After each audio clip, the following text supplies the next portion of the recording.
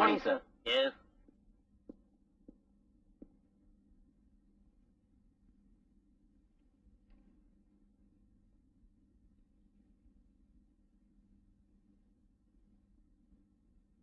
demand sell பதினஞ்சுல இருக்காங்கல்ல. அவங்கள கூட்டிகிட்டு வா.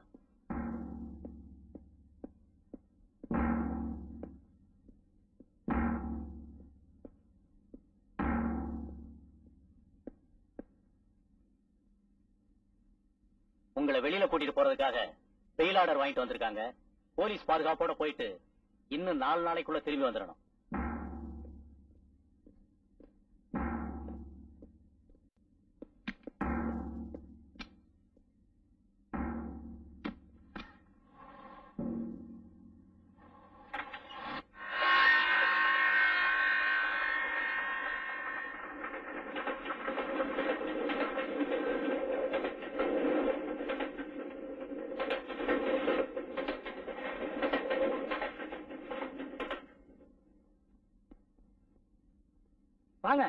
நீங்களும் உட்காருங்க.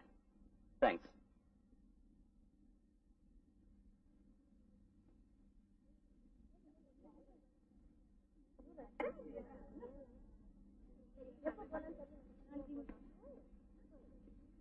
ஏனு கம்பெனி எல்லாம் வேலைக்கு போயிட்டு வரீங்களா? ஆமா. ஏன் கேக்குறீங்க? உங்களை எல்லாம் எவன் வேலைக்கு போக சொன்னது? பொம்பளைங்க எல்லாம் வீட்டுக்கல அடங்கி உடங்கி உட்கார்ந்து வேண்டியதானே அட கேட்டு கிடக்கணும் சொல்லுங்க கம்பெனி ஏன் சார்? நீங்க வேலை தேடி அலையறீங்களா ஆமா. எப்படி தெரிஞ்சுக்கிட்டீங்க? அதான் வயிற்றுச்ச படத்தை பார்த்தாலே தெரியுதே. வீட்டுக்கு வீடு வாசப்படுதான் சார். வர்ற மாப்பிள்ளைங்களா பொண்ணுக்கு சம்மதியம் இருக்கா? இல்லன்னா வரதட்சணை ஜாஸ்தியா கொடுங்கன்னு கேக்குறப்போ நாங்க வேலைக்கு போனாதானே பெத்தவங்க பாரத்தை குறைக்க முடியும்? நீங்க என்ன கல்யாணம் பண்ணிக்கிறதா இருந்தா சொல்லுங்க. என் வேலையை உங்களுக்கு கொடுத்துட்டு வந்துறேன்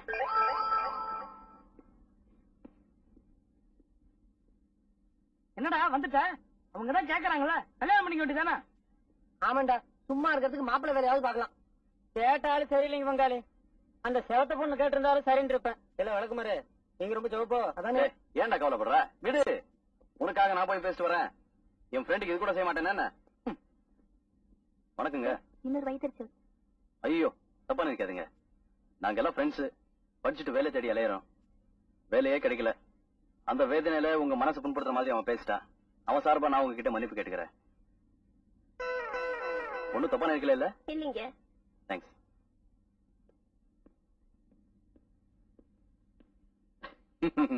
எனக்கு பங்காளி கல்யாணம் பண்ணிக்கல சொல்லிட்டாரா அந்த பொண்ணுகிட்ட போய் பேசினேன் உன்னை செருப்பால அடிச்சா நல்லா இருக்குன்னு சொன்னாங்க அதுக்கு நீ என்ன சொல்லிட்டு வந்த நல்ல புத்தி வர மாதிரி அடிங்க இப்பவே கூட்டு வரேன்னு சொன்னேன் வாடா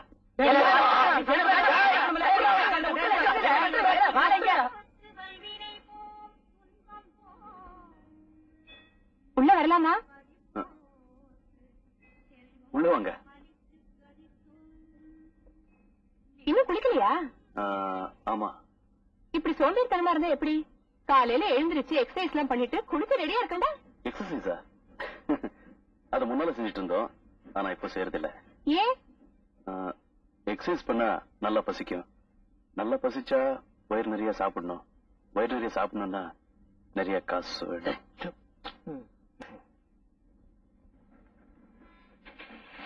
அம்மா கோயிலுக்கு போயிட்டு வந்தாங்க. இந்தாங்க பிரசாதம் எடுத்துக்கங்க. வேணாங்க. இந்த கோயில் கடவுள் இது மேல இருந்த நம்பிக்கை எல்லாம் போச்சு. கஷ்டம் வர நேரத்துல கடவுளை திட்டுறது எல்லாருக்கும் சகஜதா கஷ்டம் வந்து போனா பரவாயில்ல. அதுவே நிரந்தரமான ஏசாம என்ன பண்ணுவாங்க? அதுக்காக கடவுளே என்னன்னு ஆயிடாது இல்லைங்களா? ஏனுங்க இந்த கோயில் குங்குமத்தை எங்க நெத்தியில வைக்கிறதுக்கு இவ்வளவு கேட்டுக்கிற நீங்க? உங்களால முடிஞ்சதுன்னா எங்கல்ல யாரா ஒருத்தருக்கு ஒரு வேலை வாங்கி கொடு. நான் ஒரு கம்பெனி சொல்றேன். யாராவது ஒருத்தர் அங்க போய் ட்ரை பண்ணி பாரு. எந்த கம்பெனிங்க டிஎன் சிட்டிரோட மோகன் and co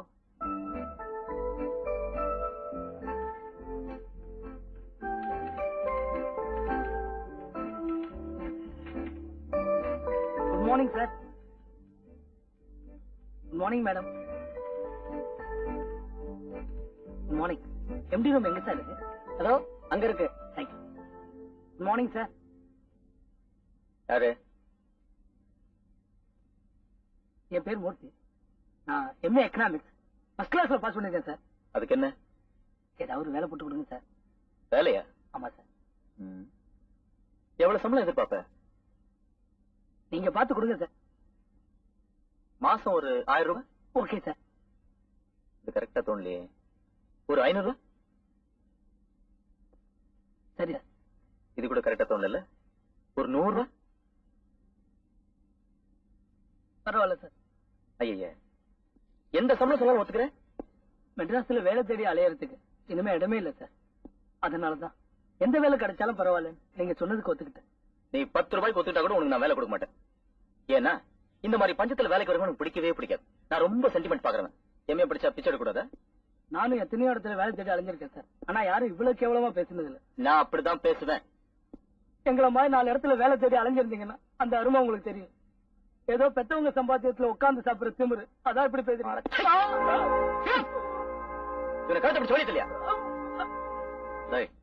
விசாரிச்சியா? அந்த ஆள் இங்கதான் வருவானா? அவங்க ஆபீஸ் பியூன் டீல் விசாரிச்சுட்டேன் தினமும் இங்கதான் வருவானா?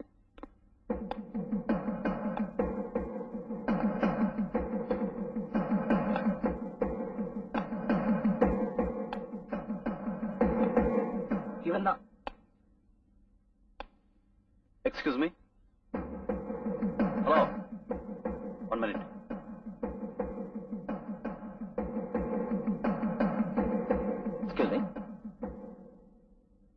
என்ன? வேலை கொடுக்கலங்கிறதுக்காக? அடையாளங்களை கூட்டிட்டு வந்து தயாரா பண்ண வந்திருக்கேன்? சார். நாங்க ஒன்றும் அடையாளங்க இல்ல. படிச்சவங்க.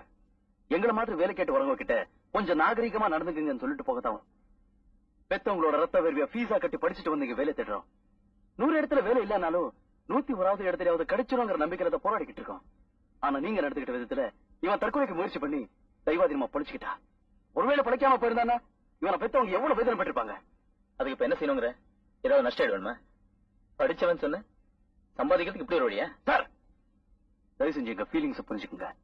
நாங்க ஆத்திரப்படுற மாதிரி மறுபடியும் பேசாதீங்க. டேய் உங்க ஆத்திரம் என்ன செய்யும்? பிச்சைக்கார பசங்களா?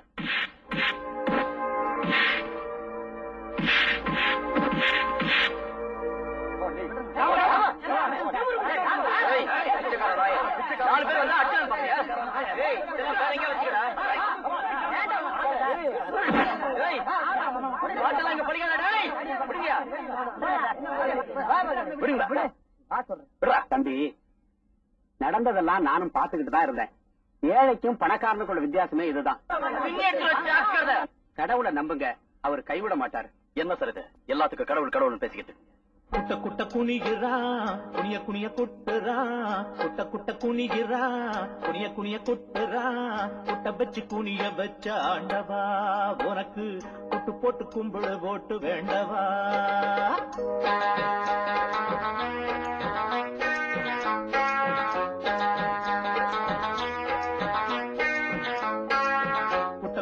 துணிகிறா புனிய புனிய குனிய குட்டுறா வச்சு துணிய வச்ச ஆண்டவா.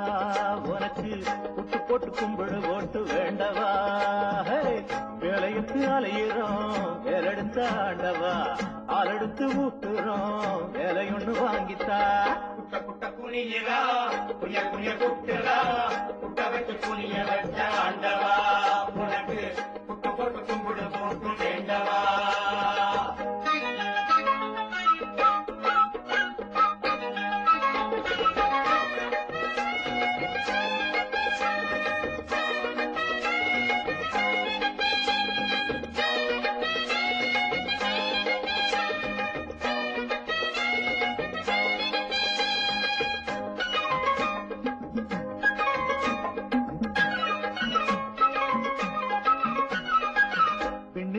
ரொம்ப சுகமா வாழ்ந்திருக்கும் வேலவனே மண்ணுல மாணவனா பிறந்து பாறையா.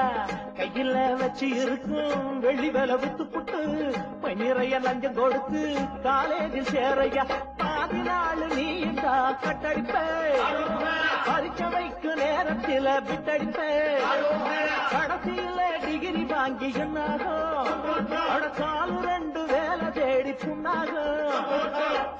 வச்சு விட்டு பிடிச்சு செவுத்த பார்த்து சிரிப்ப. அடப்பட்டது எல்லாம் போதுமே என்று மயிலில் ஏறி பறப்ப. குட்ட குட்டுரா வைக்க ஆண்டவா. உனக்கு குட்டு கொண்டு கும்பிடு போட்டு வேண்டவா.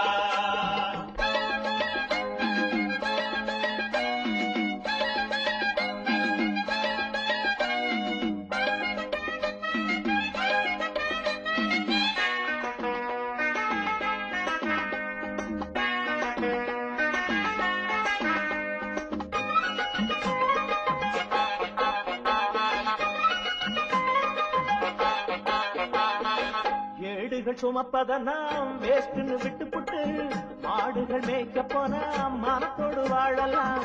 எம்ஏ நடுவினிலே எல்லு ஒன்று சேர்ந்திருந்தா எம்எல்ஏ ஆகி நாமும் எல்லாமும் வாங்கலாம். அடுத்த வாட்டி தேர்தலிலே நிற்போமா? நம்ம டிகிரியத்தான் சின்னமாக வைப்போமா? அடுத்த வாட்டி தேர்தலிலே நிற்போமா? நம்ம டிகிரியத்தான் சின்னமாக வைப்போமா? பட்டத்தை எல்லாம் நூலுல கட்டி பட்டமாக்கி விடுடா அடப்பட்டிரு கீரை கட்டிய போட்டு இட்டு தோசை சுடுடா குட்ட குட்ட குனிகிறா குனிய குனிய குட்டுறா குட்ட வச்சு குனிய ஆண்டவா. உனக்கு குட்டு போட்டு கும்பிடு போட்டு வேண்டவா. வேலையத்து அலையிறோம் வேலெடுத்த ஆண்டவா. பால் எடுத்து ஊத்துறோம் வேலையொன்னு வாங்கித்தா. குட்ட குட்ட குனிகிறா குனிய குனிய குட்டுறா குட்ட துணிய வச்ச ஆண்டவா உனக்கு புட்டு போட்டு கும்பிடு போட்டு வேண்டவா.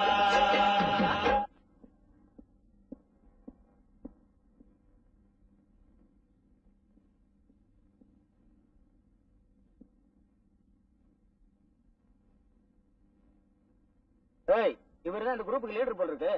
பொம்பளைங்க புள்ள குட்டிங்களை வச்சுக்கிட்டு தூங்குற இடத்துல இந்த சத்தம் கிட்ட பண்ணி அவங்கள எழுப்ப கூடாது பாருங்க. இப்ப சொல்லுங்க. உங்க முதலாளி என்ன சொல்லி அனுப்புனாரு அவர் சட்டையை நீ கிழிச்சதுக்கு உன் மூஞ்ச கிழிச்சிட்டு சார் அப்படியா? எங்க கிளி பாப்பா. உனக்கு கிழிக்க தெரியல பாத்தியா? இப்ப நான் கிழிக்கிற பாரு.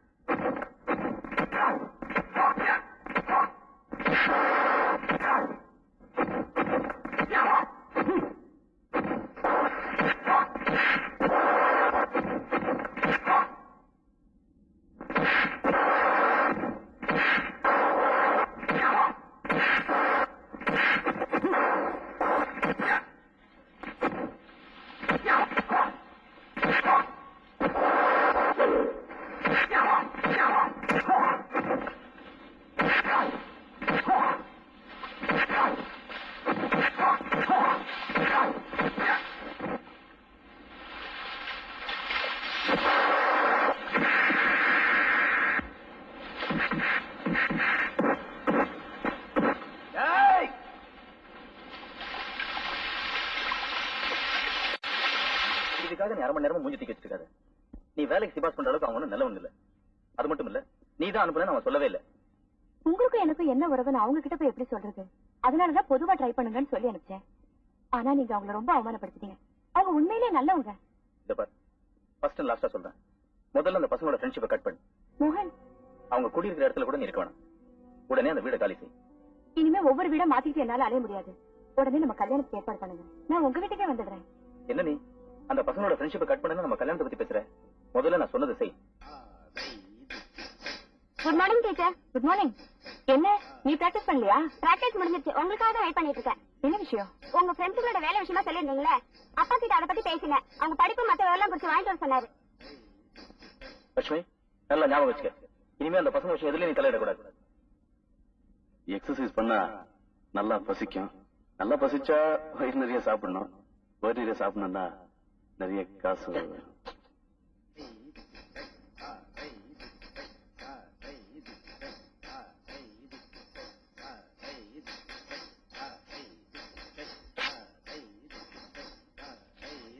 இதுல எல்லா டீடைல்ஸும் இருக்கு. தேங்க்யூ டீச்சர்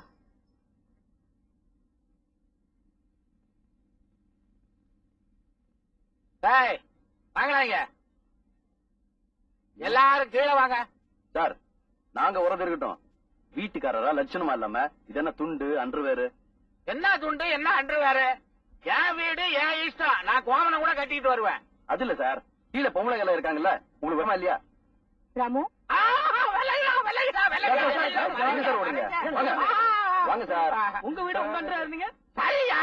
இது என் வீடு என் அன்று வேற என் கோவனம் தான். இருந்தாலும் அது என் மக மாதிரி. போண்டா இப்படி வாடா. வரடா. அது ஒண்ணும் இல்லைங்க. நம்ம வீட்டு ஓனர் அன்றுவேரோட இருக்கிறாரு. அதான் கொஞ்சம் கூச்சப்படுறாரு. என்ன சொல்லுங்க? உங்ககிட்ட ஒரு முக்கியமான விஷயம் சொல்லலாம்னு வந்தேன். என்னது? உங்க வேலை சம்பந்தமா என் ஸ்டூடெண்ட் கிட்ட சொல்லிருக்கேன்னு சொன்னேன்ல. ஆமா. அது சக்சஸ் ஆயிடுச்சு. உங்கள யாரோ ஒருத்தருக்கு நாளைக்கு ஆர்டர் வரும். சார் எம்டி ரூம் எங்க இருக்கு? ஏன் என்ன விஷயம்? வேலைக்கு ஆர்டர் வந்திருக்கு. ஓஹோ. அது அங்க இருக்கு. தேங்க்ஸ் ஏன் சுப்பிரமணி ஒரு ஆளுக்கு தானே வேலைக்கு ஆர்டர் அனுப்பிச்சிருந்தோம்? பஞ்ச பாண்டவர்கள் மாதிரி அஞ்சு பேர் போறாங்க? வாழ்த்துக்கள். அஸ்து மகாலி. தேங்க்யூ எஸ் கவின் வாமா உட்கார். கர்ப்பமா இருக்கம்மா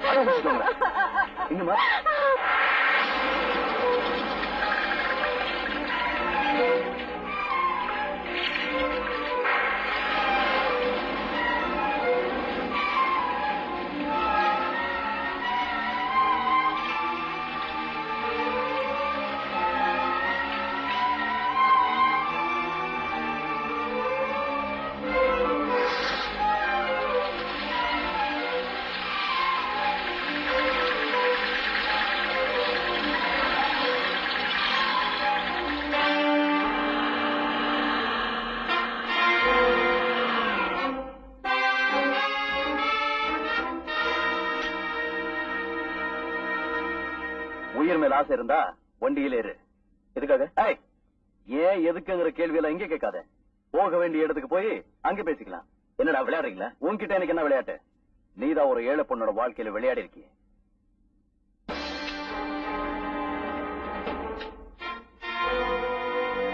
என்ன?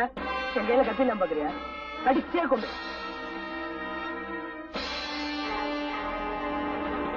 தள்ளியா?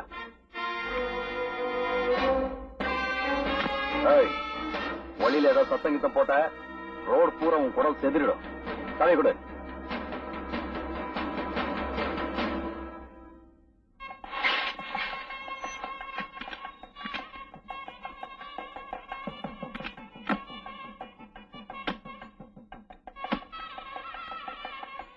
ஒன்னும் புரியல உள்ள வந்தா தெரியும். வாங்க.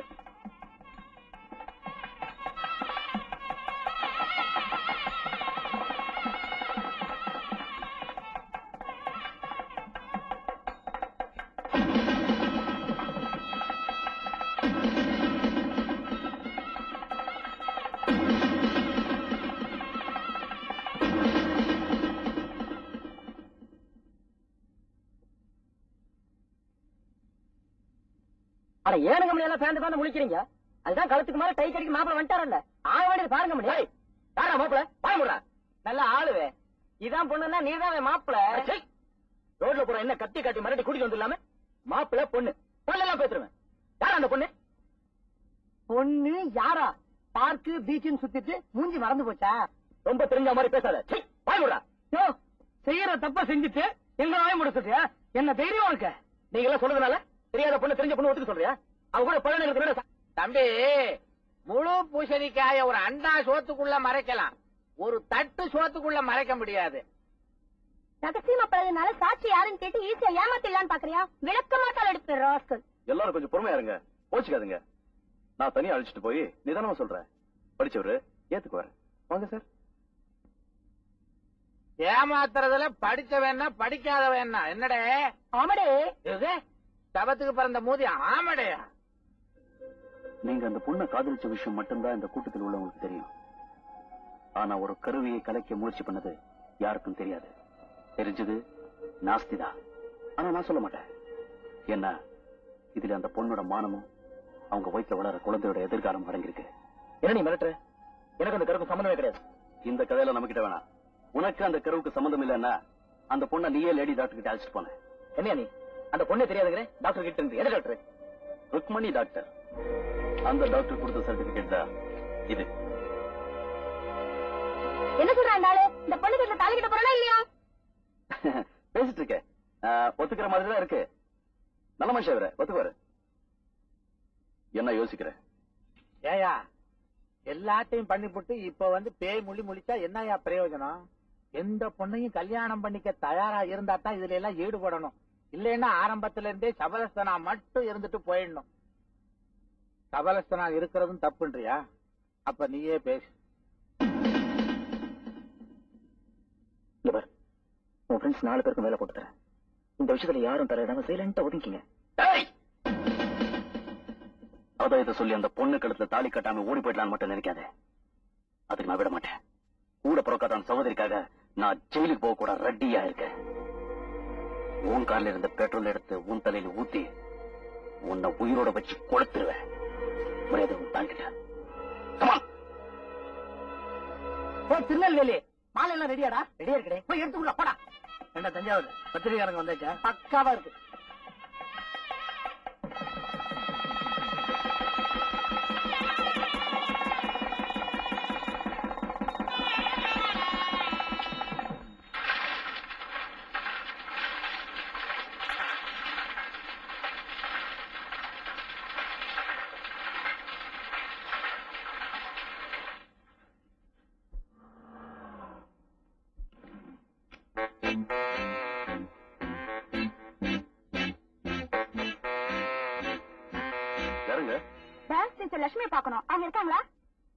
இருந்தாங்க. இப்ப கல்யாணம் ஆகி போயிட்டாங்க. ஐயோ நான் அவங்களை அவசியம் பாக்கணும் எங்க இருக்காங்க? எதுக்குங்க? என்ன விஷயம் பரதநாட்டியம் கத்துக்கணும் யாரு நான் தான் பரதநாட்டியம் கத்துக்கணும் ஐயோ டேய் தண்ணி கொண்டாடா தண்ணி பத்தாது பிராட்டி கொண்டா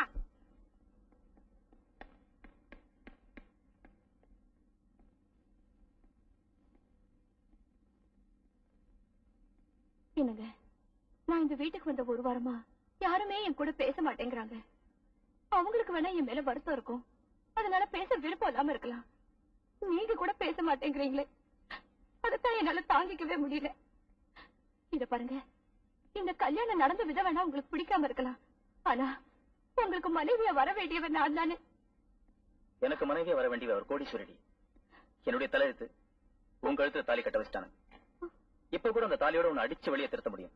யாரும் ஒண்ணும் செய்ய முடியாது தெரியுமா? வேண்டாங்க.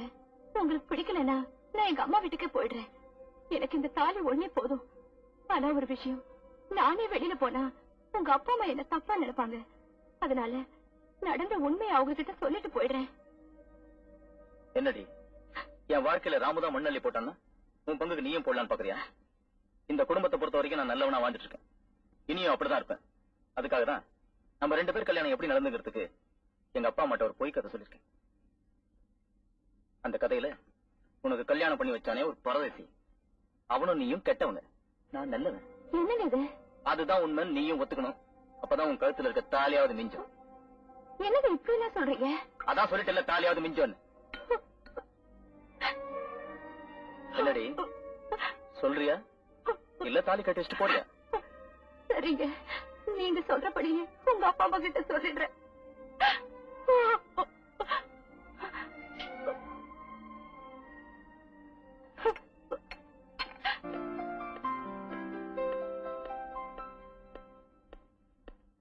எக்ஸ்கியூஸ் மீ எம்டி ரூம் எங்க இருக்கு?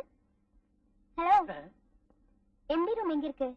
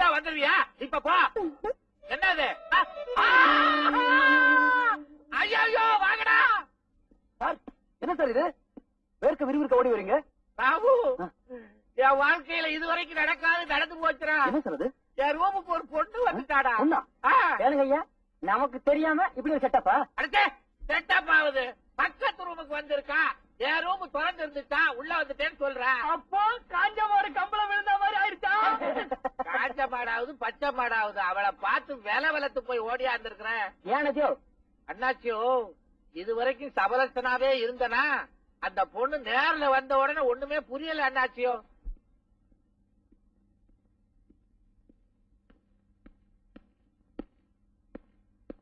கூப்பிட்டீங்களாப்பா? இவன் தான் என் பையன் மோகன். வணக்கம். இவர் மிஸ்டர் பரமசிவம் பாம்பேல இண்டஸ்ட்ரியலிஸ்ட் இவரை பத்தி தான் ஏற்கனவே உங்ககிட்ட சொல்லியிருக்கேனே. உட்கார். உங்களை போட்டோல பாக்குறேன் இப்ப நேர்ல பாக்குறப்ப ரொம்ப வருத்தமா இருக்கு. எனக்கு மரமான வர வேண்டிய நீங்க. ஏன் ஒரு சாதாரண குடும்பத்து பொண்ணு போய் கல்யாணம் பண்ணிக்கிட்டீங்க? அது பூர்வ ஜென்மத்துல செஞ்ச பாவம். யாரோ படிச்ச பசங்க இவங்கிட்ட வேலை கேட்டிருக்காங்க. இவன் இல்லைன்னு சொல்லியிருக்கான். அதுல தகராறாகி இவன் அவங்கள அடிக்கிற அளவுக்கு ஆயிப்போச்சு. அதனால அந்த பசங்க இவனுக்கு சம்பந்தமே இல்லாத ஒரு பொண்ணை இவன் கூட முடிச்சு போட்டு பேசி கத்தியை காட்டி மிரட்டி கல்யாணம் பண்ணி வச்சிட்டாங்க.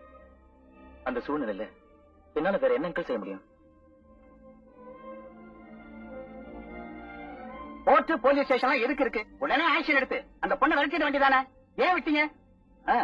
நானும் முதல்ல அப்படிதான் நினைச்சேன். ஆனா என் மிஸ்ஸஸ் தான் அந்த பொண்ணை ஏத்துக்க வேண்டியதா போயிடுச்சு. என்னங்க செய்யறது? அந்த பொண்ணு கழுத்துல இவன் தாலி கட்டிட்டான். அது பேப்பர்ல வந்து மானம் போயிடுச்சு. அதுக்கப்புறம் கோர்ட்டு கேட்டுன்னு போனா மேற்கொண்டு இவருக்கு தானே கௌரவ குறைச்சல். அதனாலதான் எது எப்படி நடக்கணுமோ அப்படிதான் நடக்கும்னு மனசை தேத்திக்கிட்டு அந்த பொண்ணை இங்கே இருக்கட்டும்னு சொல்லிட்டேன். ப்ளீஸ் எக்ஸ்கியூஸ் மீ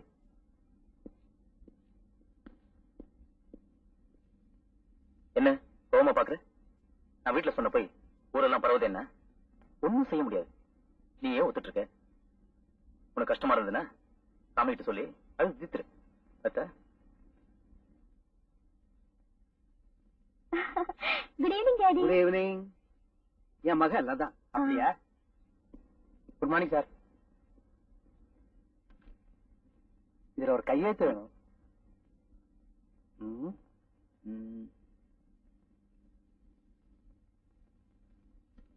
சார் அங்க கொஞ்சம் பாருங்களேன்.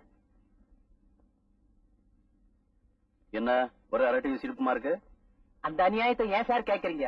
அந்த பொண்ணு வந்த ஒரு மாசமாவே இப்படிதான் சார். அது ஏதாவது விடுகதை போடுறதும் அதுக்கு பதில் தெரியாம நம்ம ஆளுங்க உளறதும் அதை கேட்டு மத்தவங்க சிரிக்கிறதும் ஐயோ ஒரே அட்டகாசமா போச்சு சார்.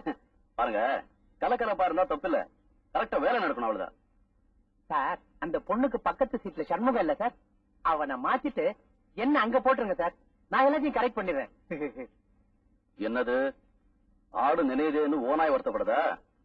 ம்? ஓ, வர்றேன் sir. Thanks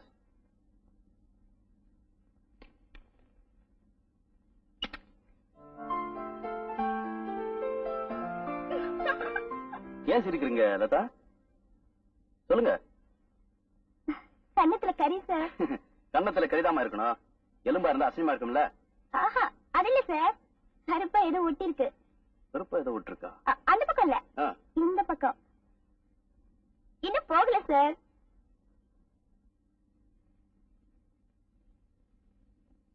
Okay. If you don't mind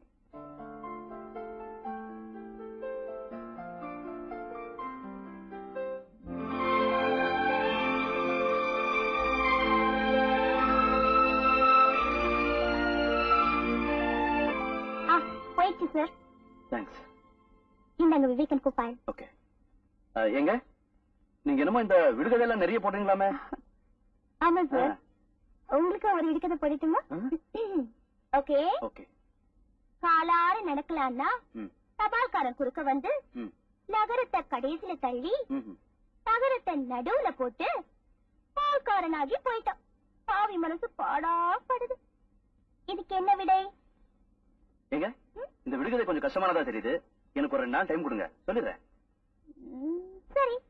நல்லா யோசிச்சு சொல்லிடுங்க சார் தபால்காரன் குறுக்க வந்து நகரத்தை கடைசியில தள்ளி நகரத்தை நடுவுல போட்டு பால்காரனாக்கி போயிட்டான். பாவி மனசு பாடா படு இந்த மாதிரி விடுகதைகள்லாம் அவளுக்கு போட்டதே இல்ல. காசி சார் அந்த விடுகதைக்கு விட என்ன ரெண்டாலும் இதே தொலையா போச்சு. புது பொண்டாடிக்கு புடவை கட்ட விட மாட்டேங்கிறேன். அது இல்ல சார் நான் என்ன சொல்றேன்னா போயா. நீ திரும்ப. என்ன வீட்டுக்காரையா? விடுகதைக்கு இன்னும் விடையை கண்டுபிடிக்கலையா? என்னமோ எங்களுக்கு முன்னாடி நீ கண்டுபிடிச்சிட்ட மாதிரி கேக்குறியே. ஓ கண்டுபிடிச்சிட்டனே. கண்டுபிடிச்சிட்டியா நீயா உங்க அப்பா என்ன தமிழ் பண்ணிட்டா காலார நடக்கலாம்னா தபால்காரன் குறுக்க வந்து அதில் இருக்கிற கால். லகரமான இல்ல கடைசியில தள்ளி நகரத்தை நடுவுல போட்டா. இதுதான் விடை. ஆ! என்ன இப்ப புரிஞ்சுக்கிட்டீங்களா? புரியுது புரியுது. அப்பா!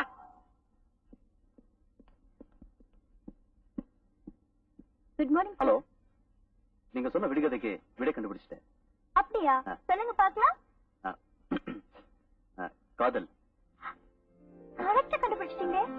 வெரி குட் ஷர்ட் புதுசா சார் ஆமாங்க. விலை நூத்தி இருபத்தஞ்சு ரூபாயா சார் ஆமா. எப்படி கண்டுபிடிச்சீங்க? அதான் காலர்ல விலை தொங்குது. அப்படியா?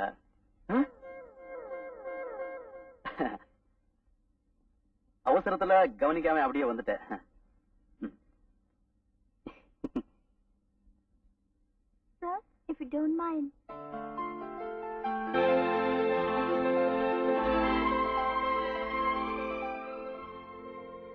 நம்ம லிஃப்ட்ல வரும்போது கரண்ட் கட் ஆயிருந்தா என்ன இருக்கும் லிஃப்ட் பாதியில நின்னு இருக்கும் நம்ம ரெண்டு பேரும் தனியா சிக்கிக்கிட்டு தவிச்சிருப்போம். அந்த மாதிரி தனிமை எனக்கு ரொம்ப பிடிக்கும்.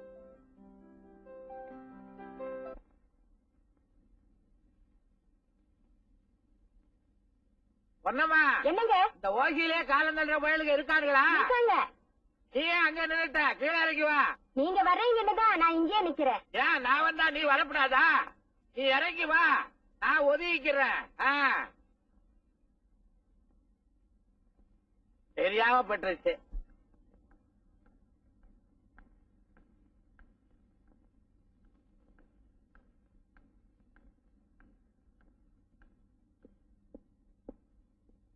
Hello hello.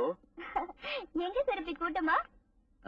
இவங்க எல்லாம் என் friends hello hello hello sir தான் எங்க வீட்டு ஓனர் வணக்கம் சார். அவனுங்களுக்கெல்லாம் ஹலோ எனக்கு மாத்திரம் வணக்கம். என்ன வயசானவனு பாக்குறியா? இந்தாம்மா இவனுங்க செய்யறதெல்லாம் நானும் செய்வேன். Hello hello. மரியாதைக்கு. ரெகுலரா நீங்க இங்கதான் வருவீங்களா? நான் எப்பவும் பக்கத்து கடைக்கு தான் வருவேன். இன்னைக்கு பர்டிகுலரா நான் வாங்க வந்தது அங்க இல்ல. அதனாலதான் இங்க வந்தேன். என்ன வாங்க வந்தீங்க?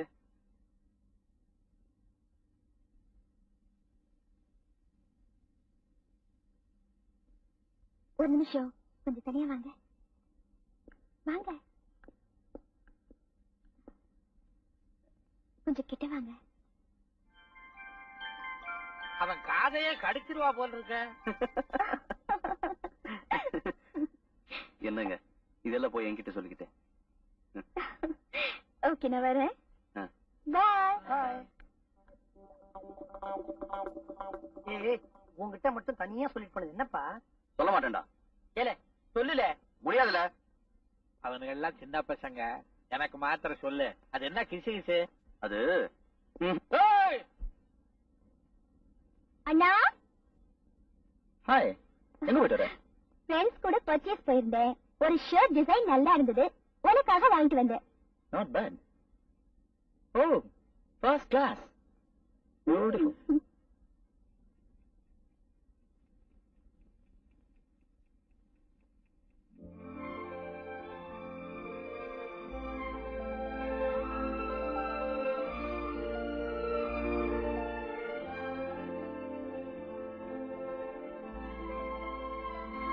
hmm okay முடிவு பண்ணுங்க. குட் மார்னிங் சார் அந்த ஃபைல் இன்னைக்கே முடிச்சுங்க ப்ளீஸ் என்ன சார் இன்னைக்கு குங்கும விபூதி எல்லாம் பலமா இருக்கு? அதுவா? இன்னைக்கு என்னோட பிறந்த நாள். ஓ I see. Happy returns of the day sir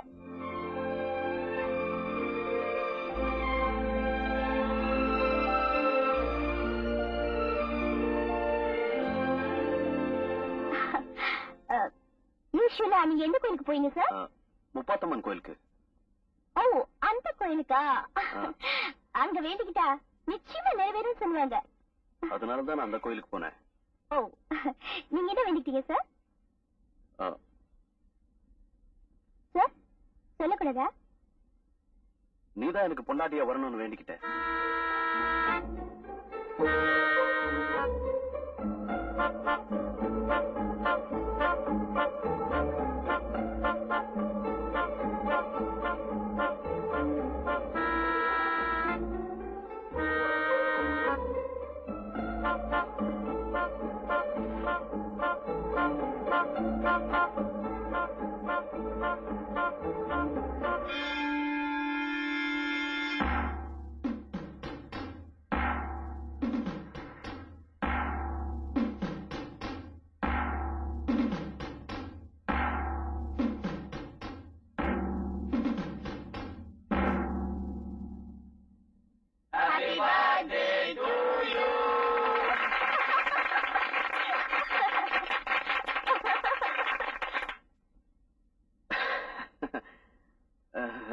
thank you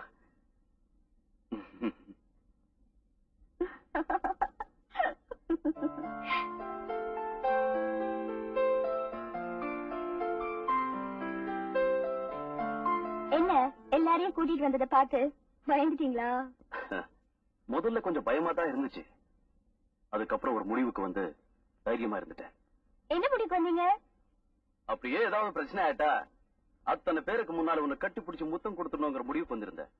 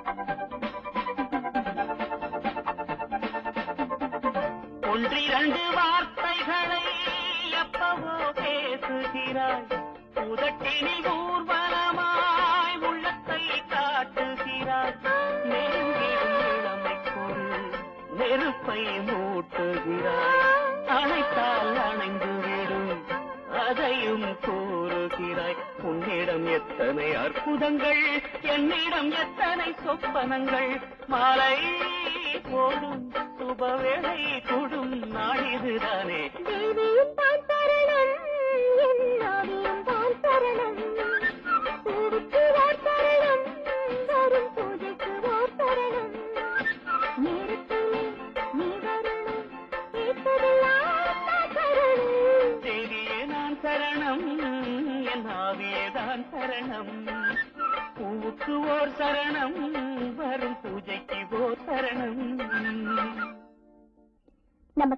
பத்தி எங்க வீட்டுல பேசுறதுல அர்த்தமே இல்லைன்னு நினைக்கிறேன். நான் வேணும்னு உங்க வீட்டுக்கு வந்து பேசி பார்க்கட்டுமா? ஐயோ வேண்டாம். எங்க வீட்ல எல்லாருக்கும் அந்தஸ்து தான் முக்கியமா போச்சு. அங்க காதல்ங்கிற பேச்சுக்கே இடம் இல்ல. அப்ப நம்ம கல்யாணம் எப்படிதான் நடக்குது? அதுக்கு நான் உங்களுக்கு இன்னொரு ஐடியா சொல்றேன். நம்ம கல்யாணத்தை நாமளே எங்கேயாவது ஒரு கோயில்ல நடத்தி முடிச்சிட்டு எங்க அப்பா அம்மா கால்ல விழுந்தா அவங்க மனசு மாறிடும். நான் சொல்றபடி செய்வோம். வர புதன்கிழமை பெருமாள் கோயில்ல நம்ம கல்யாணத்தை நடத்திடலாம். உங்களுக்கும் எனக்கும் ரொம்ப வேண்டியவங்களுக்கு மட்டும் சொன்னா போதும்.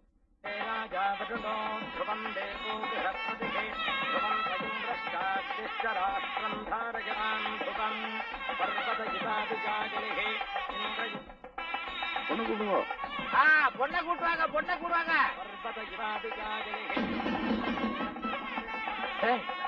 எல்லாரும் அங்க பாருங்கடா. எனக்கு ஒண்ணும் புரியாது.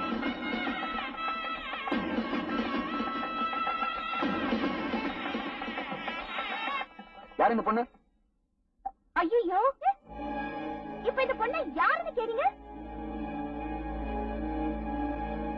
ஒரு நல்ல காரியத்தை செய்ய போறீங்கன்னு என் சொந்த செலவுலயே இந்த கல்யாணத்துக்கு ஏற்பாடு பண்ணா இப்ப ஏதோ மறந்துட்ட மாதிரி பேசுறீங்களே. என்ன கோபுற ஆமா சார் நீங்க தான் குழப்பறீங்க நீங்க அந்த பொண்ணை கல்யாணம் பண்ணிக்க போறீங்கன்னு லதா சொன்னதுனாலதான் நாங்களாம் இருக்கோம். லதா நான் எப்போ உங்ககிட்ட அப்படி சொன்னேன்? இது உனக்கு எனக்கு நடக்க வேண்டிய கல்யாணம் தானே? ஷட் அப் என்ன கதையை மாத்த பாக்க சொல்லுங்க வேண்டா உங்க எல்லாருக்கும் சொல்றேன். ராமுவும் லதாவும் லவ் பண்ணதா உண்மை? ஆமா. அப்படின்னு இவர் சொல்லுதாரா? அவன் சொல்றது என்ன? எங்களுக்கே தான் தெரியும். நீங்க எல்லாரும் சேர்ந்து சொன்னா இல்லாதது இருக்குன்னு ஆயிடுமா? மிஸ்டர் நீங்க இந்த பொண்ண கல்யாணம் பண்ணிக்கிறீங்களோ இல்லையோ அது உங்க இஷ்டம். ஆனா நீங்க சொல்ற மாதிரி உங்களுக்கு கழுத்து நீட்டுறதுக்கு நான் ஒண்ணும் பைத்தியக்காரி இல்ல. புரிஞ்சுதா? வரேன்.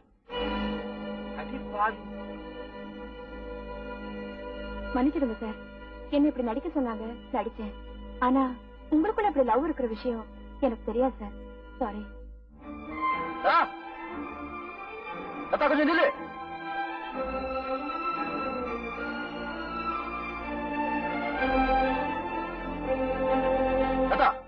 சர்வசாதாரணமா நம்ம காதல தூக்கி எறிஞ்சிட்டு ஏன் இப்படி நாடகம் ஆடுற? என்ன பொறுத்த வரைக்கும் அந்த காதல் வெறும் நடிப்பு தான் ஏன் இப்படி நடிச்ச? காரணத்தை தெரிஞ்சுக்கிறதுக்கு முன்னாடி நான் யாருங்கிறத முதல்ல தெரிஞ்சுக்கிறேன். உங்க ஃப்ரெண்டுக்கு வேலை கொடுக்கலங்கிறதுக்காக யாரோ ஒருத்திய கட்டி வச்சு பழி வாங்குனீங்களே மோகனுங்கிறவரை ஞாபகம் இருக்கா? அவரோட தங்கச்சி தான்.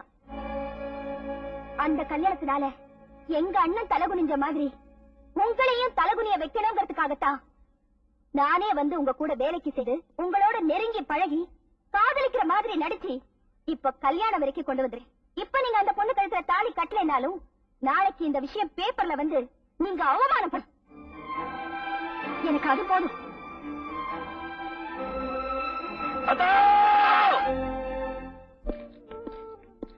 அதான் நம்பர் அங்க இருக்கு பங்காளி.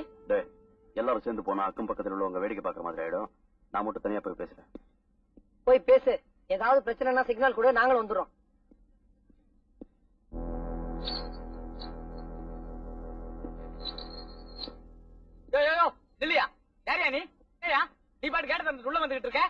இது வீடு தானே? ஆமா. லதா இருக்கா? இல்ல. எங்க போயிருக்காங்க? அவங்க குடும்பத்தோட சொந்த ஊர் போயிருக்காங்க. எப்போ வருவாங்க? தெரியாது. அவங்க சொந்த ஊர் எது? ஊட்டி. ஊட்டி அட்ரஸ் தெரியுமா? தெரியாது. அவங்க வீட்ல வாட்ச்மேன் வேலை பாக்குற? ஊட்டி அட்ரஸ் கூட தெரியாதா? எனக்கு தெரியாதுன்றல என்ன சட்டை பிடிக்கிற? உண்மையா சொல்லு. தெரியுமா தெரியாதா? அதே தெரியாதுன்ற இல்லையா என்னது யாராட்டு பயில வாங்கி பாட்டுக்கு வந்தேன்? சட்டையை பிடிச்சு வச்சிருக்கேன் புது சட்டை இதெல்லாம் கேட்டா நான் அட்ரஸ் சொல்லி போடுவேனா சொன்னேன் முதலாளி கொண்டு விட மாட்டேன்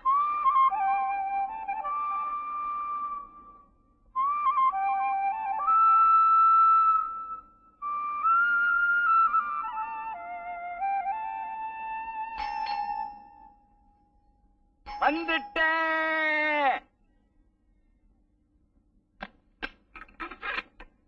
வணக்கம் சார். முதல்ல நீங்க எல்லாம் யாருன்னு சொல்லுங்க. அப்பதான் பதில் வணக்கம் சொல்லுவேன் ஆ, இந்த லெட்டர் கொஞ்சம் படிச்சு பாருங்க சாந்தி இவங்க எல்லாம் மெட்ராஸ்ல இருந்து வந்திருக்காங்க இவங்கள வீட்டுல தங்க வைக்க சொல்லி அனுப்பிச்சிருக்கா. என்ன சொல்ற? சாந்தி பர்மிஷன் கொடுத்துட்டா. வாங்க எல்லாரும் வாங்க.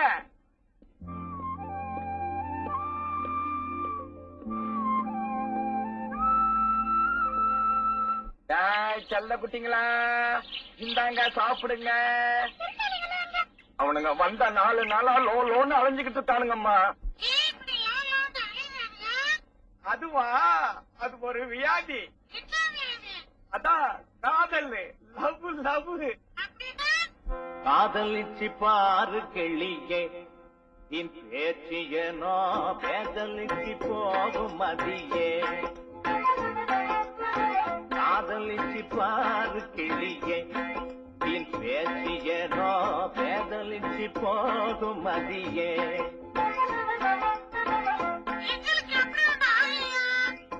காதலிச்சு பார்த்தால் காணுகிற யாவும் கண்ணில் சுகமாகும். காலம் பறந்தோடும் ஆடும் பாடும். காதலிச்சு பாரு கெளியே என் பேசியனோ பேதலிச்சு போகும் மதியே.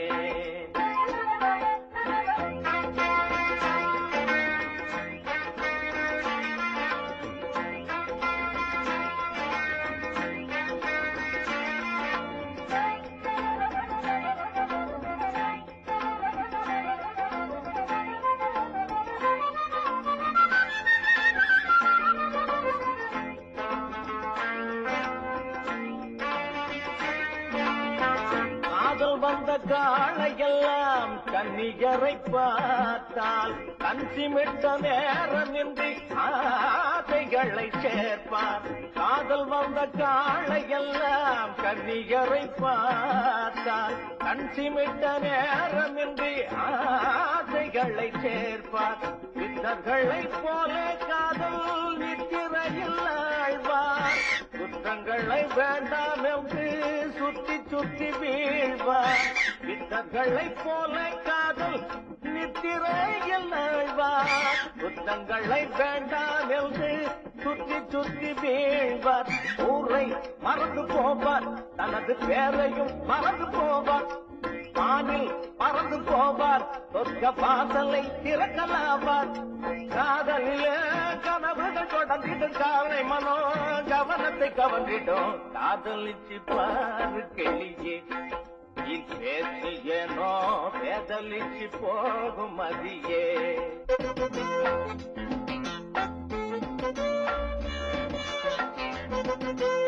Thank you.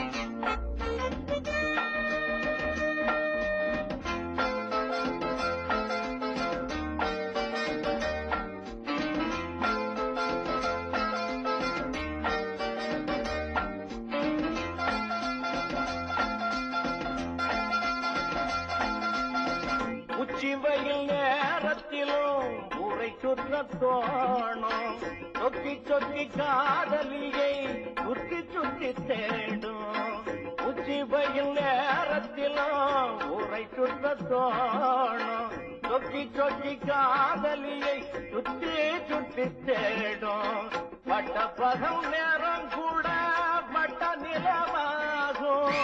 நட்ட நடுராவில் தூக்கம் கட்டு கட்டு போகும்.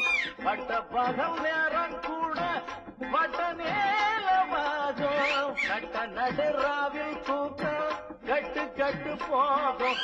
பாலும் கசந்து போகும். நல்ல பழமும் குடித்து போகும். மதியில் இருந்த போதும் நல்ல ருசியும் மறந்து போதும். ஆசையில சின்ன தவி குறுகிடும் அவதியில் கருக்கிடும்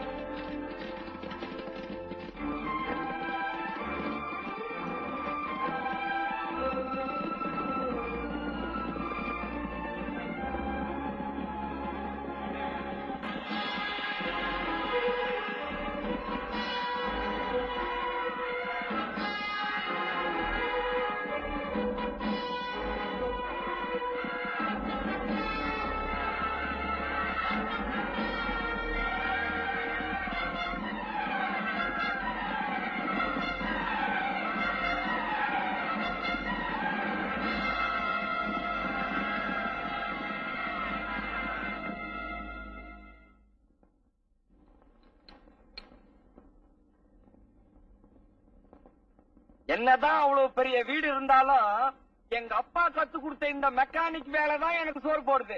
ஏங்க காய்கறி வாங்க பணம் கொடுங்க. டாய் நேத்து தான் மூணு கிலோ பீன்ஸ் மூணு கிலோ கேரட் மூணு கிலோ தக்காளிக்கு காசு கொடுத்தேன் என்னாச்சு? அவ்வளையும் இந்த மண்ணாங்கட்டி தின்னுட்டான். பச்சை காய்கறி உடம்புக்கு நல்லதுன்னு சொன்னாங்க. காய்கறி கடைக்காரங்க. நீ காய்கறி தின்னா அவன் வியாபாரத்துக்கு நல்லதுடா முண்டம் டாய் ராமுவாவது அன்னைக்கு குதிரையில அடிபட்டு சாக கடந்து பொழைச்சுக்கிட்டான். நீ தின்னே சாக கிடப்ப ஆனா பொழைக்க மாட்டேன்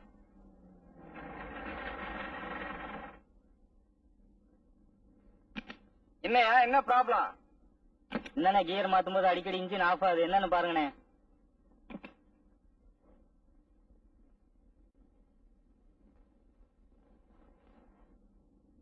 ஏங்க யாருங்க?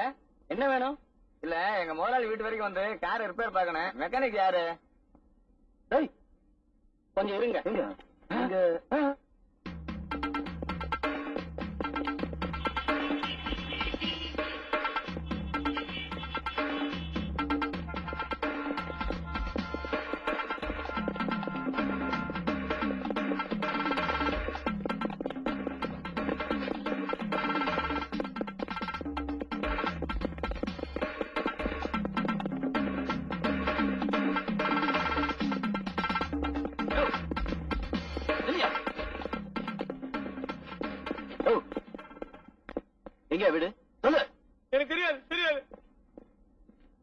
ஏங்கடா இவனை தொடச்சு புடிச்சு இழுத்துட்டு வர்றீங்க? சார் இந்த ஆள் மெட்ராஸ்ல லதா வீட்ல இருந்தவரு. ஊட்டி அட்ரஸ் கேட்டப்போ தெரியாதுன்னாரு. இங்க மாட்டிக்கிட்டாரு. இப்ப கேட்டாலும் சொல்ல மாட்டேங்கிறாரு. சொல்லியா? எனக்கு தெரியவே தெரியாதுங்க. ராமு அட்ரஸ் தானே? நான் சொல்ல வைக்கிறேன்.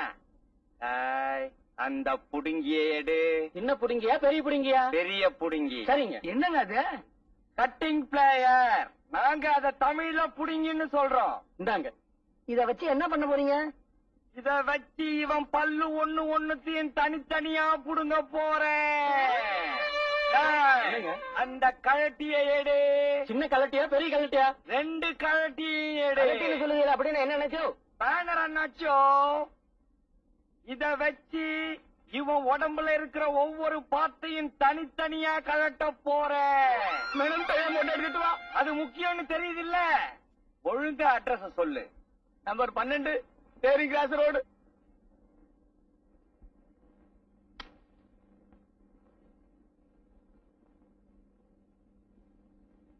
யாரு பண்ணி என்ன வேணும்? லதா வீடு இதுதானே?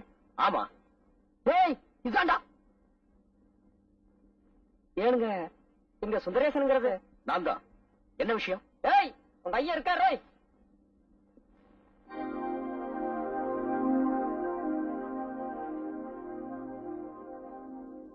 லதாவை கொஞ்சம் கூப்பிடுறீங்களா? நீங்க எல்லாம் யாரு?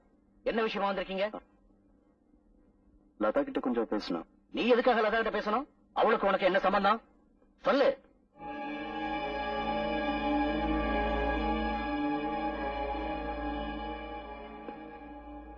என்ன விஷயம்னு சொல்லாம இருந்தா எப்படி? என்னடா பதில் சொல்லாம நிக்கிற?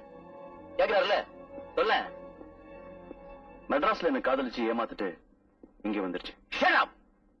எவ்வளவு தைரியம் இருந்தா என் முன்னாடியே வந்து இப்படி பேசுவேன்? காதலிச்சது உண்மைங்கிறதுனாலதான் தைரியமா அதை பத்தி பேச வந்திருக்கேன் நான் தான் அந்த காதல பொய்ன்னு சொல்லிட்டேன்ல.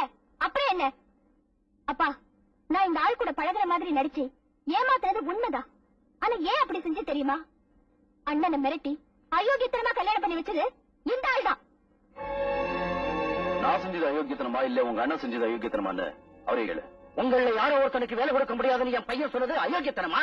சார் என் ஃப்ரெண்டுக்கு வேலை கொடுக்கலங்கிறதுக்காக நான் இந்த கல்யாணத்தை நடத்தி வைக்கிறேன் உங்க பையன் தான். எடுத்தாடே அதுக்காக தான் கல்யாணம் பண்ணி வச்சீங்க சொல்லி லட்சுமியே ஒத்துக்கிட்டாளே.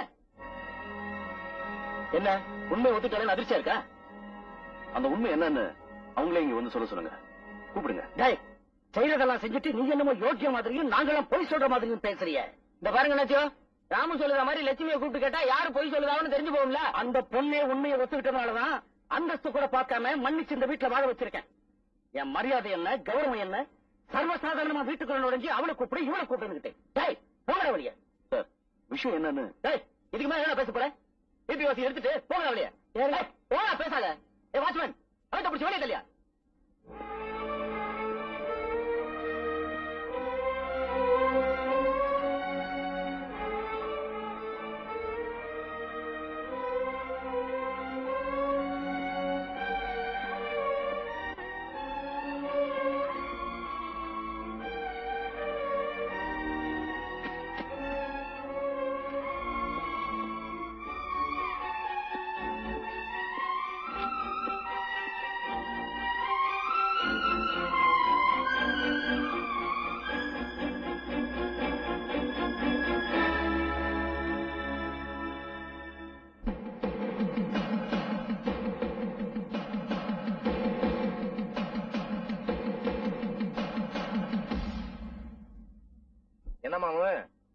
வந்திருக்காங்கறத மறந்துட்டு வாலாட்ட ஆரம்பிச்சிட்டீங்க போல இருக்கு.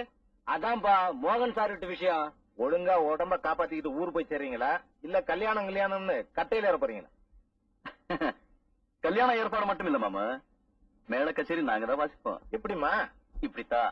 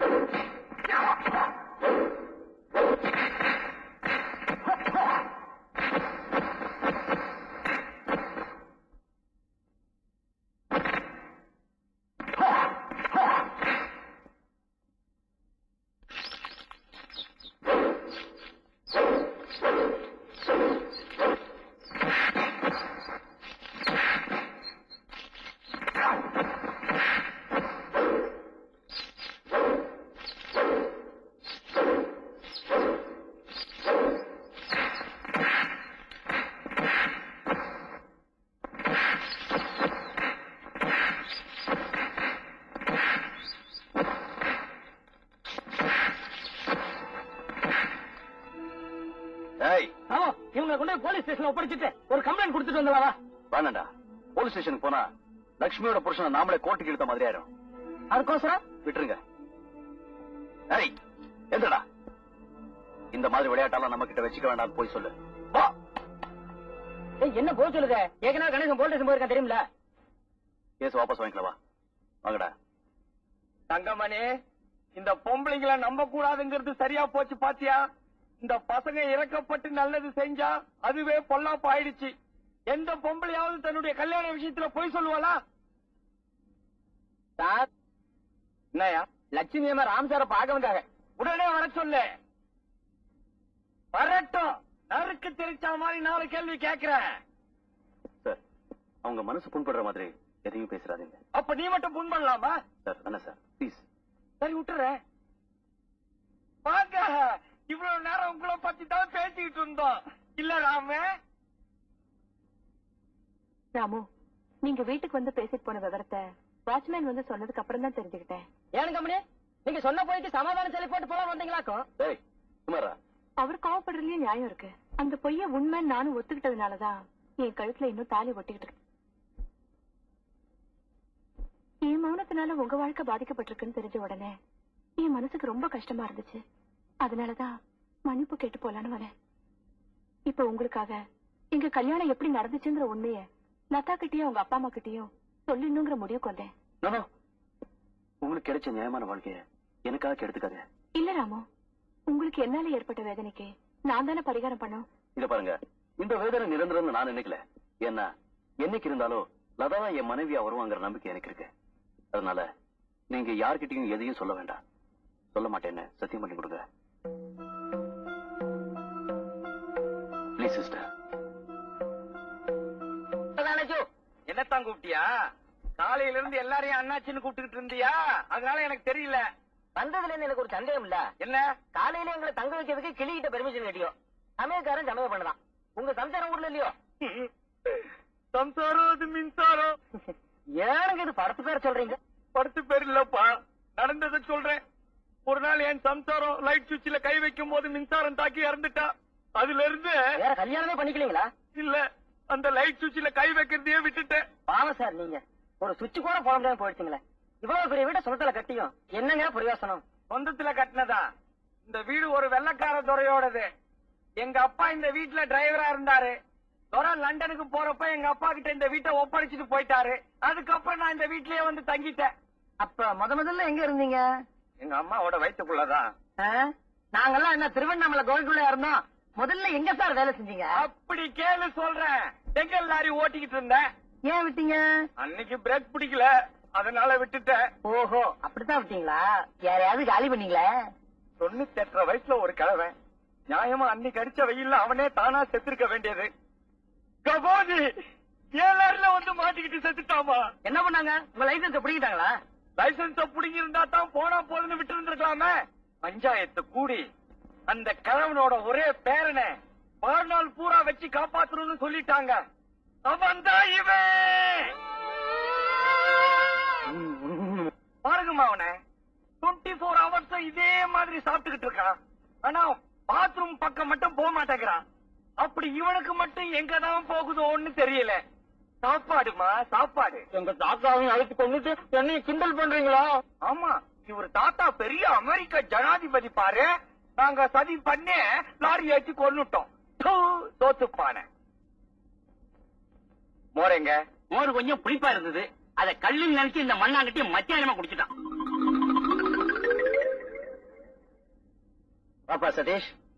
ஏன்பா நேத்து நான் வீட்டுக்கு வந்திருந்தேன். அண்ணன் மட்டும் தான் இருந்தாரு நீங்க போயிருங்க எப்பவும் ஊர் சுத்துறதா உன் வேலையா? அட சும்மா இருங்க ஆண்டி.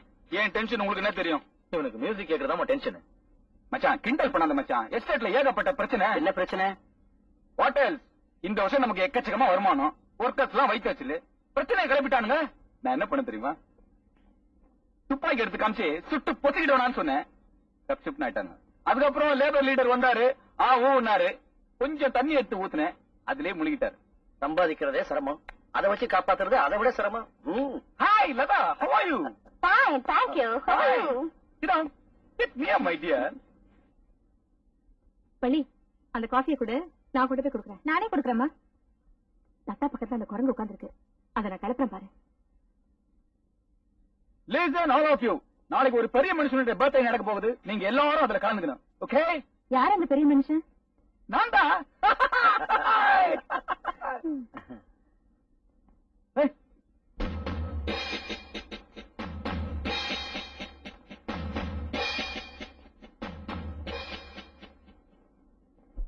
சாரி சதீஷ் என் ட்ரெஸ் உள்ள இருக்கு வா போய் மாத்திக்கலாம்.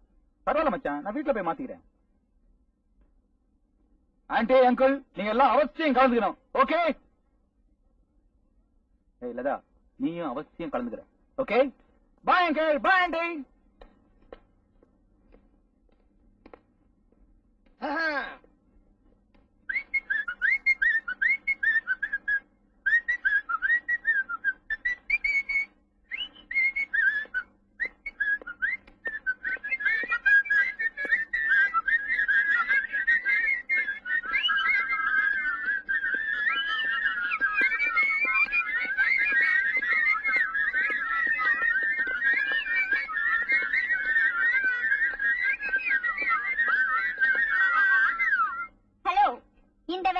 மெட்ராஸ்ல வச்சுக்கோங்க. இது எங்க ஊரு?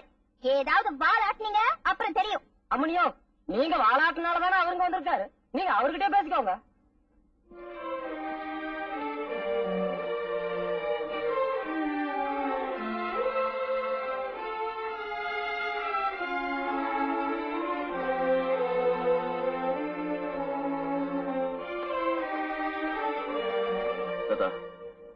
வழிய விடு. நான் உன்கிட்ட கொஞ்சம் பேசணும். நீ என்கிட்ட ஒண்ணு பேச வேண்டியதில்ல. அதுக்கு அவசியமும் இல்ல. அவசியம் இருக்கிறதுனால தான் நான் உன்னை தேடி வந்திருக்கேன். நான் சொல்றது கேளு. உங்க அண்ணன் நீ உங்க அப்பா எல்லாரும் நினைக்கிற மாதிரியே என் ஃப்ரெண்டுக்கு வேலை கொடுக்கலங்கிறதுக்காக தான் நான் அந்த கல்யாணத்தை நடத்தி வச்சேன்னு இருந்துட்டு போட்டோம். அதுக்காக நான் உங்ககிட்ட மன்னிப்பு கேட்க கூட தயாரா இருக்கேன். ஆனா நீ எனக்கு கொடுத்த தண்டனை ரொம்ப கொடுமையானது. சொல்ல போனா தூக்கு தண்டனை கைதிக்கு முகத்துல போடுற கருப்பு துணி மாதிரி நீ காதல பயன்படுத்திக்கிட்ட. வெளிச்சந்தா உலகம் நம்பி விளக்குல விழுந்து சாகிற வெட்டில் பூச்சி மாதிரி நீ என் மனசுல ஏற்படுத்தின காதல உண்மையை நம்பி நான் தினம் தினம் செத்துக்கிட்டு இருக்கேன். இப்படி என்ன சாகடிக்கிறத விட ஒரே அடியா விஷம் கொடுத்துருக்கலாம். என்ன மரணாவஸ்தைங்கிறது ஒரு நிமிஷத்துல முடிஞ்சு போயிடும். எது எப்படியோ உன் மேல என் மனசுல ஏற்பட்ட காதல் உண்மையானது. அந்த புனிதமான உறவை பொய்யா கிடையாது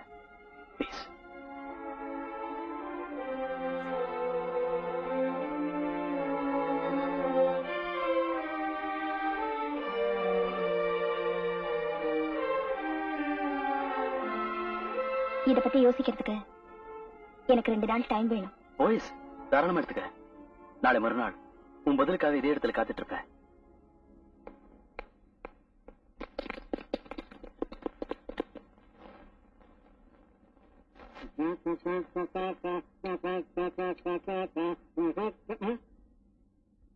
வேற ஒண்ணும் இல்ல. அவ்வளவு தாத்தா பண்ற வேலை. தாத்தா. என்னையா தசரதன்? வாயா என்னையா வண்டி ரெடியா என்ன ஆச்சு இவ்வளவு லேட்டா வர்ற? பில்லுக்கு பணம் தயார் பண்ண வேண்டாமா? பின்ன சும்மாவா கொடுப்பாங்க இப்ப எப்படி வந்திருக்கேன் சரி சரி வா வண்டியை ட்ரையல் பண்ணி காமிக்கிறேன். எடுத்துக்கிட்டு போ. பின்னாடியே. முன்னாடி ஏறி உட்காந்துக்கோ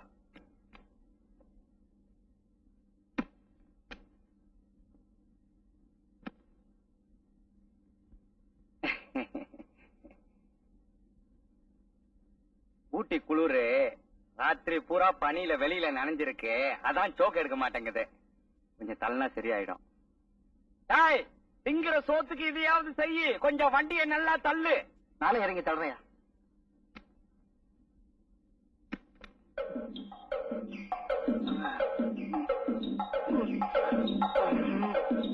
இன்னும் கொஞ்சம் தள்ளனா சரியாயிடும். தள்ளுங்க தள்ளுங்க. தள்ளுங்க தள்ளுங்க தள்ளுங்க. இன்னும் கொஞ்சம். உலகம் உண்டான காலத்துல இருந்து ஊட்டில இவ்வளவு வேர்வை வேர்த்தது. என் ஒருத்தருக்கு தாயா? என்ன யார் ரிப்பேர் பண்ண? நேத்து சாயந்தரம் கூட நல்லா ஸ்டார்ட் ஆச்சுங்க. இல்ல நான் கை வைக்காத இன்ஜினா. எப்படிப்பட்ட மெக்கானிக் நானு? ஐயோ இன்ஜினிய காணும்.